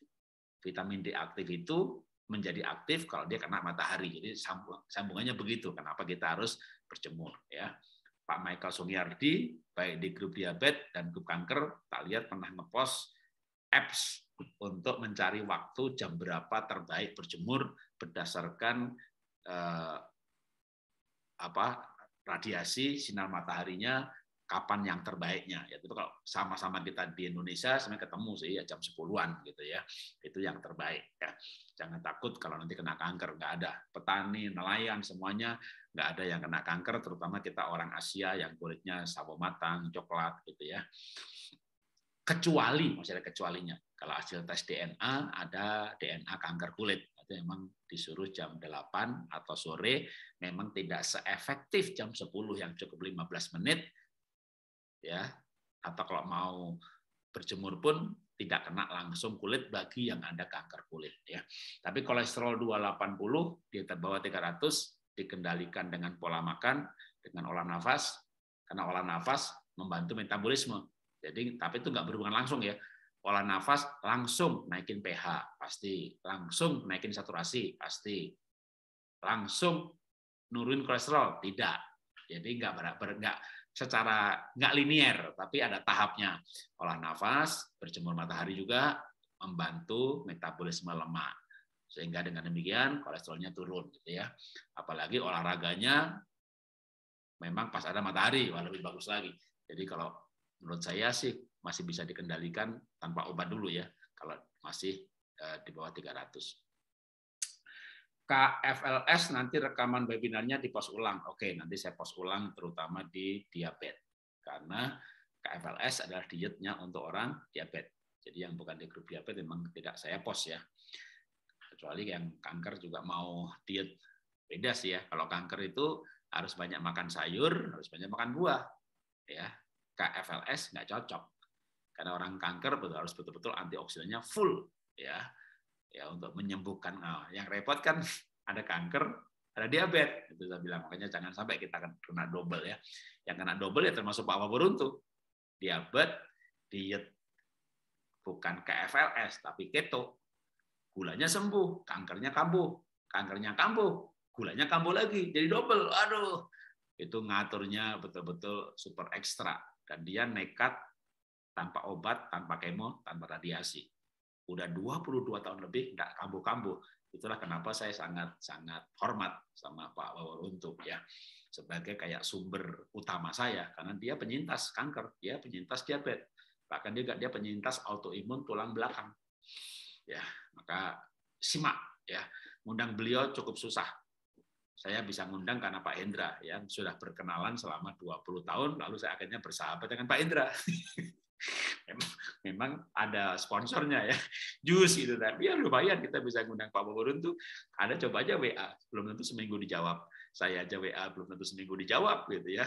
Sekarang ada istrinya yang mulai bantu nangani orang-orang yang mau bikin appointment. Tapi itu pun juga belum tentu seminggu seminggu dijawab. Ya saya masih bersyukur aja masih bisa dapat sebulan sekali ngundang dia untuk webinar kita. Dia yang ngundang banyak banget Eropa, Amerika, Australia, Kanada ngundang semuanya dia, gitu ya. Jadi saya masih dapat sebulan sekali. Oke, lanjutkan lagi. Apakah orang diabetes boleh minum kapsul spirulina? Wah, saya nggak ngerti nih. Uh, saya lewatin dulu ya. Nanti kalau Bu Dokter Mira standby, saya akan uh, sampaikan. Ingtung berapa lama Pak? 10, 5, 5 menit, 10 menit cukup. Ya, sering-sering aja tiap hari ya kan kita nggak nggak ingtung terus kan ya tetap kalau menurut saya sih ya jalan orang-orang diabetes itu kan perlu jalan kaki ya dengkul olahraga dengkul. Nah tadi pagi waktu olah nafas pagi bersama sama-sama Wim Hof satu tapi saya ajarkan mulai hitungan yang ke 100 kakinya diangkat. Tarik nafas angkat giniin sedikit lepaskan. Tarik nafas giniin lapak kakinya lepaskan. Ya besok pagi mungkin kita juga ulang lagi olah nafas sama-sama Wim Hof satu ataupun dua, tapi ditambah dengan gerakan, baik gerakan kaki atau gerakan uh, tangan, ya itu bisa juga untuk olahraga orang diabetes. Selain ingtung, ya tentunya sebenarnya berenang dan jalan kaki, ya, boleh di kombinasi aja. Tapi dalam dalam keadaan tertentu kan kadang berenang butuh biaya, butuh waktu. Saya tinggal di Bintaro sektor 9 kolam renang sektor satu yang di Bumi Mentara itu Bintaro Permai itu punya saya tuh ya.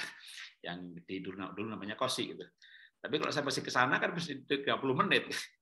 Istri saya rajin berenang saya agak malas daripada ke sana 30 menit pulang 30 menit hitung udah selesai. 10 menit. Jalan kaki itu pun juga saya males. Tapi kalau saya mau ke mana ke Indomaret ke mana-mana saya jalan kaki. Saya tidak bisa hanya jalan kaki murni gitu nggak bisa. Saya mesti pergi mau beli cat minyak, kalau melukis, ada sebuah tujuan dan saya jalan kaki ke sana gitu bisa. Tapi kalau saya jalan kaki muter-muter gitu, kok rasanya kayak orang menderita ya. Jadi saya itu nggak bisa kayak sesuatu yang itu sebagai terapi gitu. Makanya kalau diet gitu nggak bisa. Kok kayak orang sakit terapi gitu ya. Ah mendingan pola hidup. Emang hidup saya begini gitu ya. Jadi memang saya orang yang sedikit nggak bisa kalau kayak sesuatu yang kayak harus berupa terapi gitu agak berat. Makanya olah nafas pun kadang kalau yang IWOP satu saya sambil jalan kaki ya di taman gitu rasanya lebih rileks daripada duduk diam kayak orang terapi. Kecuali bareng-bareng ya olah nafas pagi hari bareng-bareng rasanya kayak nggak terapi rasanya kayak ngajar. Ya rasa itu penting. Oke kita lanjutkan lagi. Berarti kalau saya suka makan kelapa muda dengan air Nah, itu kalau menurut Dokter Elizabeth Suprata bagus ya. Dan saya pun juga seperti gini, gula kelapa itu kan gulanya tinggi gitu, tapi ternyata ada anti gulanya di situ. Makanya kemarin saya di Bali seminggu minum air kelapa terus tiap hari itu gulanya nggak naik signifikan, tapi tiap orang beda-beda ya. Kalau mau ada tes. Kalau Anda naiknya signifikan, bahkan saya punya cerita nih. Ibu saya diabetes, pernah waktu itu mau operasi, gulanya melonjak mungkin karena takut mau operasinya itu 400 500 Malah dokternya yang nyuruh minum air kelapa gading yang sudah tua. Saya nggak tahu gimana kenapanya, tapi saya masih ingat waktu itu ibu saya lakukan diminumin gulanya turun. Ya, itu yang membuat saya sebenarnya depan rumah saya saya tanamin kelapa gading. 2009 saya pindah dari sektor 1 ke sektor 9, pas pindah itu langsung saya tanam. Tiga tahun lagi berbuah. Tiap berbuah saya makan terus. Minum air kelapa gading yang sudah agak tua kelapanya malah dagingnya, kelapanya. Nah, sekarang saya dapat dapat ilmu baru kan, kelapanya juga ternyata bagus. Ya sudah kalau itu nggak tua-tua banget, tapi dimakan saat daging-dagingnya. Soal pengaruhnya pada gula darah, sekali lagi metabolisme. Kalau nanti hari tanggal 23 malam Anda mau datang, ya itu nanti saya mau undang dokter Mulia Daya. Karena kemarin hari Minggu saya hadir di seminarnya, menurut saya bagus banget di mana orang sama-sama diet ini kenapa hasilnya beda? Karena DNA nomor ini, nomor ini, nah saya nggak hafal tuh. Ah, mendingan dia yang jelasin nanti, gitu ya. Sehingga dampaknya bisa berbeda. Nah, Anda kalau mau nggak usah tes DNA, ya tes sendiri aja gulanya. Minum air kelapa, tunggu satu jam, dua jam, naik apa enggak. Atau kalau mau ya tiap pagi ngetes, kalau nggak naik, nah berarti Anda cocok, gitu ya. Itu cocok yang tanpa tes-tes. Buah apa yang dipakai dalam jus pro? Sebenarnya semua buah, karena buah apa pun juga dengan di dengan difermentasi gulanya hilang, udah nggak ada masalah. Jadi kalau saya semuanya tak fermentasi, ya makin banyak jenis buahnya, makin lengkap antioksidan dan vitaminnya. Memang ada sih yang bilang buahnya buah jambu kristal gitu. Nah, saya udah coba 3-4 bulan ya nggak ngefek juga pada penurunan yang signifikan. Akhirnya saya pakai kayak klasik enzim 32 macam buah. Pakai madu fermentasi satu tahun gitu kan. Satu tahun untuk dapetin enzim namanya klasik enzim. Kalau jus pro probiotiknya yang diutamakan selain enzim dan vitamin. Kalau saya sering kombinasi 5 6 macam buah saya fermentasi. Buah apa aja kecuali durian. Durian jangan difermentasi baunya kacau.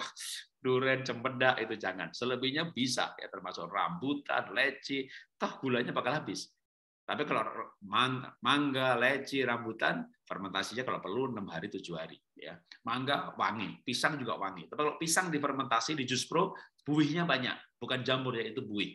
Ya itu nggak masalah. Jadi sementara selama bukan jamur itu nggak masalah. Buahnya saya buah apa saja, lengkap aja. Buah itu kalau saya punya prinsip begini, buah dan sayur saya punya prinsip begini. Jangan punya buah kesukaan, sukailah semua buah kalau nggak diabetes, sukailah semua buah. Kalau diabetes, buah semuanya, tapi difermentasi. Maka antioksidannya lengkap. Karena antioksidan itu ribuan macam ya. Kalau tomat ada likopen, kan baru diketahui likopen. Selain likopennya masih ada lagi yang belum diketahui. Wong ilmu manusia belum selesai. Maka makin kalau saya prinsipnya adalah sebanyak mungkin jenis buahnya. Makanya kalau klasik enzim itu 32 macam buah ya. Difermentasi selama satu tahun pakai air matang, gulanya pakai madu. Jadi kayak ekoenzim rumusnya 1310 tapi airnya air pelihara, pelihara ya air yang sudah disterilkan selama satu hari, lalu pakai madu, buahnya 32 macam. Nah, sama juga jus pro. Kalau Anda mau 32 macam ya ribet ya kan. Kali ini 56 macam, besok 56 macam, besok 45 macam. Kalau saya nggak pernah cuma satu macam ya. Oke, minum kopi pakai santan kara ya tadi kan minum kopi pakai santan kalau Pak Aris Menandar nambahi pakai butter ya boleh juga nih menu baru kita coba ya Pak waktu makan mal makan minum jus pro kefir bersamaan ya makan siang kalau saya makan siang plus minumnya jus pro Ya, makan malam minumnya kefir gitu. Satu gelas gede, malam satu gelas gede udah cukup ya. Jadi satu gelas siang jus pro, satu gelas kefir malam. Bagi saya udah cukup karena memang probiotik itu ya semua vitamin, mineral, lemak, kita butuh semuanya dengan porsinya masing-masing. Jadi yang baik pun jangan kebanyakan. Walaupun ada yang mengajarkan misalnya minum jus pro seliter, dua liter buat detox gitu ya. Ya tubuh kita ada sistem detoxnya segala sesuatu. Saya ingat aja pernah sih ada sebuah klinik kedokteran yang mengajarkan detox dengan wortel dan ternyata ada yang tidak cocok mati. Dituntut itu kliniknya. Saya nggak mau sebut namanya ya dan dokternya. Akhirnya cabut izin tutup. Sekali lagi ada faktor cocok dan tidak cocok dan juga ada faktor yang namanya segala sesuatu yang berlebihan itu nggak benar ya nggak baik. Tetap aja minum. Kalau saya standarnya yang gampang dah Yakult Protokol yang punya Kalbe Farma atau Yakult. Ada tulis saja kan minum sehari dua botol gitu. Jadi tetap ada yang namanya dosis. Minum air putih ya ada ada ukurannya berat badan sekian segini jatuhnya ya kira-kira 18. Kenapa nggak 20 gelas? Ya capek ginjalnya mompa air terus gitu ya. Jadi sesuatu yang baik juga nggak boleh kebanyakan. Wah vitamin C bagus ya. Ya hanya boleh 1000 IU, 2000 IU. Coba Anda minum sampai 5000 IU, apa nggak mual? Muntah saudara. Ya, jadi Sekali lagi, kalau saya menganjurkan kefir itu ya satu gelas sehari atau probiotik itu dua gelas. Mau kefir saja, mau jus pro saja, tapi makin lengkap, makin bagus. Ya, Anda boleh simak di webinar sehat dengan probiotik dan prebiotik. Ya, kita udah pernah webinar judulnya probiotik dan prebiotik yang saya sampaikan sendiri. Pertanyaan lagi Pak, saya sekarang sudah transplant ginjal dan ada makan obat prograf untuk nurunin imun. Apakah obat prograf ini bisa menaikkan gula darah? Karena gula darah saya sekarang sudah olah nafas dua bulan lebih masih di 130-160. Padahal saya sudah IF dan juga diet low karbo. Wah, kalau soal obat, saya mesti tunggu dokter Mira dulu ya. Eh, paling enggak ya yang lebih paham tentang obat ya. Maaf telat masuk tadi sempat dengar bahwa santan kalau tidak dipanaskan dulu suhu tinggi bagus. Bagaimana dengan minyak dari kelapa? Semua melemak, semua minyak rusak dengan pemanasan. Ya, maka VCO itu bedanya VCO dengan minyak kelapa apa? VCO itu virgin coconut oil yang diproduksi tanpa pemanasan. Daging kelapa hanya dipres dengan tekanan tinggi tanpa pemanasan ya makanya kalau goreng pakai minyak sebaiknya dua kali pakai buang karena kalau sudah berkali-kali dipakai maka minyak itu rusak ya jadi minyak itu kalau virgin coconut oil itu tanpa pemanasan olive oil yang untuk diminum ya botol yang untuk diminum itu juga produksinya tanpa pemanasan. Makanya kalau saya ingat waktu pergi ke Israel, ke Eropa, mau beli virgin coconut oil, untuk yang diminum langsung sama untuk yang bikin salad atau bikin untung goreng, itu sebenarnya beda. Beda harga, beda botol. ya Karena memang beda cara produksinya. Sama juga kayak baking soda sama sodium bikarbonat.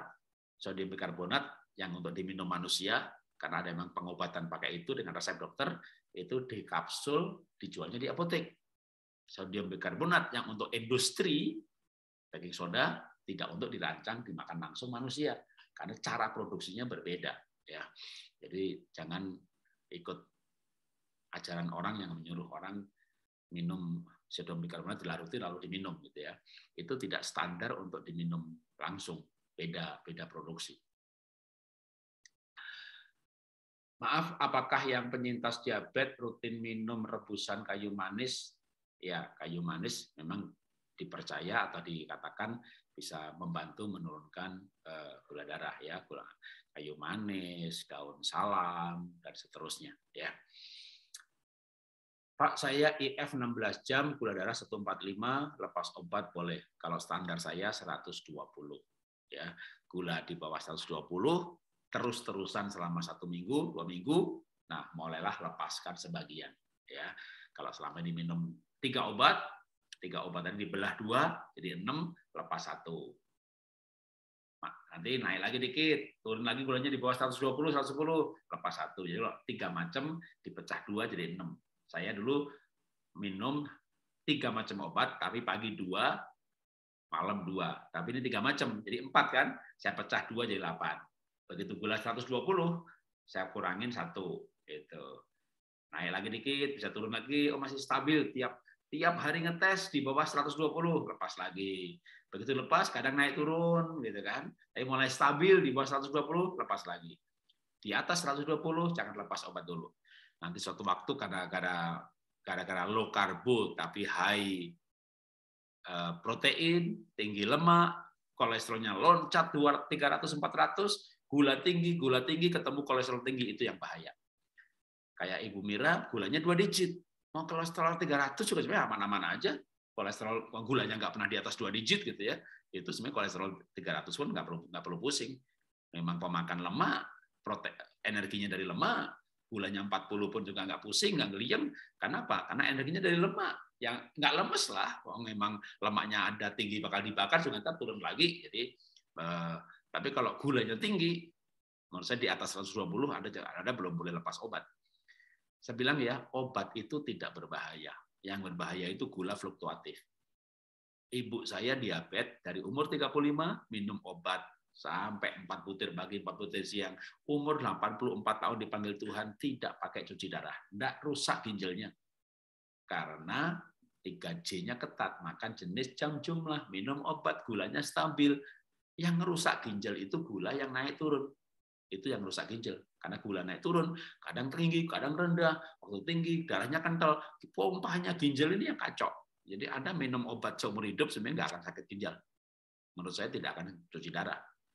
Kalau gulanya, tapi gara-gara minum obat, makanya ngawur. Sudah minum obat, gulanya fluktuatif. Yang rusak ginjalnya bukan obatnya, gula fluktuatifnya itu. Makanya kalau gulanya belum stabil di bawah 120, tidak usah bangga lepas obat daripada ginjalnya rusak. Itu loh ya. Jadi menurut saya hidup ini harus hati-hati. Ya, ada ada ada SOP-nya, ada standar prosedurnya bagaimana lepas obat. Ya lebih baik minum obat tapi sehat daripada tidak minum obat tapi sakit. Ya atau ginjalnya rusak. Nggak usah buru-buru lepas obat kecuali gula dua digit. Lalu kayak geliang-geliang ah, gula kerendahan ini. Lepasin obatnya. Pelan-pelan juga melepasnya ya. Nggak usah mendadak kalau pakai insulin juga begitu, kurangin dosisnya pelan-pelan ketika gula di bawah 120. Anda gula masih 150, masih 140, lepas obat, naik 200, naik 250, turun 150. Waduh, itu itu ginjalnya kacau ya. Lemak dari tumbuhan itu non kolesterol, yang dari hewan itu kolesterol. Lemak lemak ya, lemak lemak lemak baik ya kalau dari hewan ya ikan masih bagus ya. Sama-sama lemak hewan tapi ada jenuh, ada tidak jenuh. Jadi lemak baik bisa dari hewan, bisa dari tanaman ya. Lemak dari tanaman begitu terbakar kena kena, kena suhu tinggi ya, dia berubah, berubah rantainya. Ya, jadi itu menjadi tidak baik dan tidak baik ya. Pak, saya IF 16 jam, gula darah 145, lepas obat boleh. Tadi saya sudah bilang ya, jangan ya, lepas obat kalau sudah di bawah 120, stabil selama 2-3 minggu. Pak, kapan schedule Mas Gunggung tanggal 29 Agustus? Dan rencananya sebulan sekali, sudah firm.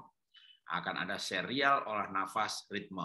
Jadi kalau dulu saya ajarkan 13 14 modul, nanti ada akan namanya 16 plus tak buat begitu ya. Tiap kali Mas mengisi 16A, 16B, 16C, saya akan upload di YouTube dengan serial itu. Jadi yang angkatan dulu nggak dapat tuh metode ini ya. Eh, sebenarnya bukan metode sih penjelasan. Kalau metodenya ya begitu-begitu juga.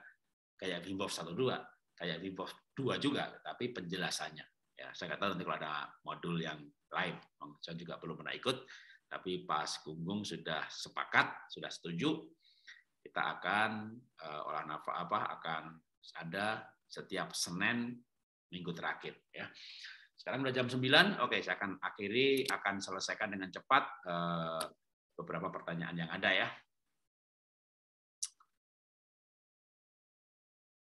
Ingtung kok belum ketemu? Aduh, nulisnya juga nggak tahu tuh gimana karena Ingtung itu bahasa Cina ya.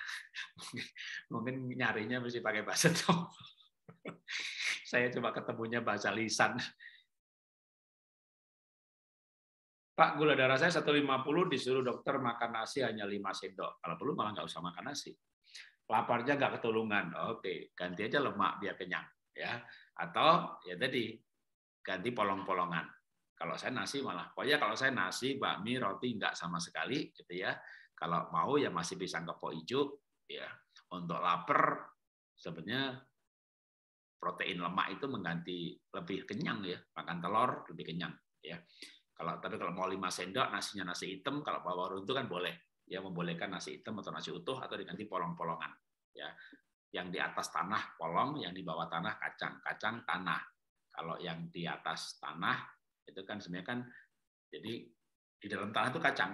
Kalau yang nut, kalau yang di atas tanah bin. Ya, jadi kayak kacang hijau itu sebenarnya masuk bin. Nah, itu bisa juga di untuk orang diabetes karena itu masih biji utuh Ya, kalau biji utuh, walaupun ada karbonnya, ada anti kayak ada kayak insulinnya. Itu kalau menurut ilmunya Pak uh, itu kalau mau mengganti nasi, gantinya dengan polong-polongan. Kalau tadi ada yang di atas kesaksian tadi pakai umbi porang ya, sudah banyak dengar tapi saya belum pernah praktek. Pak, apakah semua yogurt cocok untuk menderita diabetes? Nah, kenapa saya sarankan jus pro dan kefir? Bikin sendiri, karena nggak pakai gula. Sedangkan yogurt atau yang lain-lain yang dijual itu kebanyakan dikasih gula. Kalau enggak, enggak kecut, mana laku gitu ya. Makanya kalau bikin yogurt, bikin sendiri juga, hampir sama kayak bikin kefir. Ya. Kenapa? Karena udah pasti nggak ada gulanya. Kalau orang diabetes, malah kalau perlu fermentasi saya justru lima hari. Kalau nggak diabetes, dua tiga hari cukup. Kalau saya lima hari, kadang-kadang enam hari. Kecut, nggak apa-apa. Memang lama-lama senang dengan rasa kecut. Encerin aja pakai air gitu ya.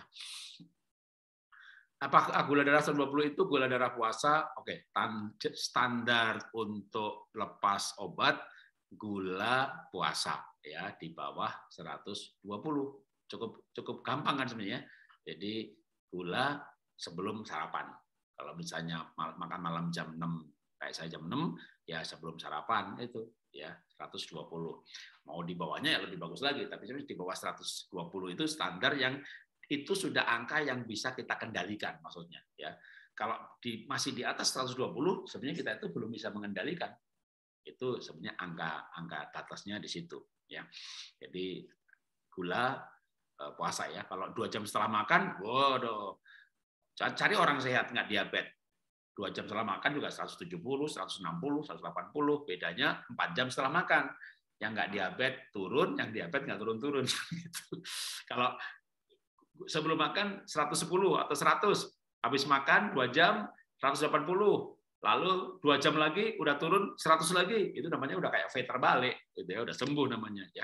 Jadi gula sebelum makan. Kalau sudah makan mah dua jam setelah makan bisa 150, 170 nggak masalah. Yang penting dua jam lagi, empat jam setelah makan udah mulai turun lagi. Ya. Jadi tadi tanda untuk lepas obat tadi sebelum makan. Ya. Pak, adakah WA group penyintas untuk kelenjar tiroid? Nggak ada. Ya, saat ini WA group yang ada pola hidup sehat untuk olah nafas satu arah, lalu lanjutannya adalah kanker dan diabetes. Di grup kanker dan diabetes udah nggak dibahas olah nafas lagi. Jadi modul dasarnya udah nggak dibahas lagi. Ya, ada yang nanya di situ juga saya nggak jawab. Memang bukan tempatnya jawab olah nafas. Ya, harusnya penjelasan di grup pola hidup sehat walaupun searah menurut saya penjelasannya udah jelas asal menyimak videonya kadang kan nggak nyimak videonya tapi nanya gitu kan karena kan pola nafas pelajarannya nggak rumit-rumit banget kalau yang saya sampaikan kan bahasanya sederhana walaupun waktu saya belajar dulu bahasanya rumit juga ada pranaya ini, pranaya itu, ada ini, ada itu. Aduh, apalagi John Kabat-Zinn juga cukup rumit karena dia pakai bahasa-bahasa psikiatri, ada aura, ada warna-warna aura segala macam. Itu kan saya buang semuanya saya nggak ajarkan. Jadi saya tidak mengajarkan semua yang saya ketahui. Karena ada orang yang mengajarkan semua yang dia ketahui supaya orang lain tahu dia pinter tapi kalau itu bikin orang lain nggak mengerti apa gunanya kalau saya kan nggak pengen saya nggak butuh saya tidak ada kepentingan, saya nggak butuh Anda tahu kalau saya pinter. Yang saya mau Anda ngerti gitu. Jadi saya buang semua kata-kata yang susah ya, yang mudah dimengerti. Jadi nggak pakai jurnal, nggak pakai ya lebih baik pakai YouTube aja diputerin lah. Itu kan kelihatan kan bagaimana Wim bernafas kan lihat perutnya, udah itu kan gampang ya kan. Atau kalau enggak Kenapa bisa hemoglobin naik? Ya, saya putarkan video aja. Ada dokter yang menjelaskan, dipakai video animasi, penjelasannya gampang gitu ya. Saya suka yang begitu ya. Jadi itulah kenapa supaya nggak banyak yang nanya. saya jelasin pakai istilah ilmiah ilmiah nanti japri semuanya repot ya kan yang penting ada sembuh gitu ya jadi yang WA grupnya sekali lagi baru ada diabetes dan kanker di mana di diabetes ada dokter Mira, ada Pak Michael Sunyardi, yang di kanker ada dokter onkolog, dokter memang mengenai onkologi, ya onkolog Pak Bijanto, ada dokter Gunadi Widarsa, dan ada penyintas Ibu Esther, Ibu Silvi, mereka penyintas-penyintas yang rajin menjawab. Saya baru dapat satu lagi sih dokter umum untuk nanti bikin WA grup non kanker non diabetes. Tapi baru satu dokter. Menurut saya saya nggak berani buka satu WA grup hanya dengan satu admin. Bisa mati berdiri dia jawabin pertanyaan ya. Saya masih tunggu penyintas masalah lutut, masalah teori, masalah ginjal atau enggak ya dokter umum aja dua tiga dokter. Mungkin nanti saya bikin grup kelas lanjutan yang dua arah. Oke, minum jus pro kalau diencerkan air berapa nggak ada rumusnya ya, bukan obat. Mau encerkan tambah air sedikit nggak ada pakai rumus. Yang penting anda lihat udah nggak kecut lagi nggak masalah ya.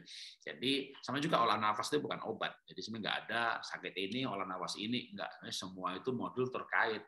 Yang ini betulin saraf, yang ini betulin hormon. Padahal orang insulin butuh juga hormon-hormon stabil. Hormon nggak stabil, ya glucogenesis, gulanya naik turun. Jadi nggak cuma Wim aja. Wim aja mana bisa sembuh.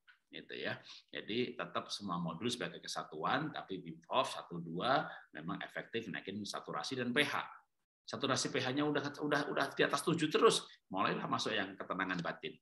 Sama juga di kanker ada yang malah Pak saya pH saya 8 terus. Wah, udah olah nafasnya ganti yang ketenangan batin aja, bimomnya stop, bilang begitu. Jangan sampai 99 namanya alkalosis, malah ketinggian. Kanker otaknya udah bagaimana makan sayur hijau yang antioksidan tinggi, semua yang membuat pH-nya tinggi. Lalu berhari-hari, berbulan-bulan pH-nya malah 89, 89, 8. Begitu olah nafas 9. Kalau di atas 8 terus-terusan, itu alkalosis loh, sakit malah. Jadi semua itu ada idealnya. pH itu pH darah yang ideal itu 7,4. Di bawah 7 disebut asam, di atas 8 disebut alkalosis. Di bawah 7 ya disebut asidosis. pH darah tapi ya. Karena pH darah pH darah 7,4 itu pH urin bisa 7. Karena lebih asam namanya sampahnya ya. Tapi kalau pH urinnya 8 9 dan itu nggak turun-turun, wah, termasuk beberapa orang yang sakit ginjal orang sakit ginjal itu ada yang yang rusak dan terganggu oleh ginjal itu metabolisme asam basa. Mayoritas orang sakit ginjal pH-nya asam, tapi ada anomali, ada penyimpangan, ada yang justru pH-nya tinggi. Maka saya sudah pernah post di grup ya, yang ginjal hati-hati sebelum olah nafas cek pH darah dulu. Kalau pH darahnya 8, 9, jangan ikut Wim Hof. Langsung modul yang nafas pelan ya kalau istilahnya Mas Gunggung napas pelan istilah saya berarti yang MBSR ke atas yang metode 4 5 6 7 8 sampai 14 karena itu nggak naikin pH secara signifikan kombucha dibuat oleh teh manis anda fermentasi satu minggu satu bulan juga masih manis, tuh gulanya masih tinggi. Saya pernah ngetes, jadi saya nggak menyarankan kombucha ya. Water kefir masih oke okay, ya. Jadi eh, pH satu sen 6 5,7 udah bagus ya kan batasnya eh, 6 ya enam setengah sampai maksimal ya 5 kalau mau aman ya di maksi, di bawah 6 udah bagus ya. Oke pasar semuanya sudah habis waktunya dan juga pertanyaan sudah habis. Terima kasih teman-teman. Kita akan lanjutkan minggu depan libur karena minggu depan itu Senin malam. Saya flight dari Surabaya ke Jakarta.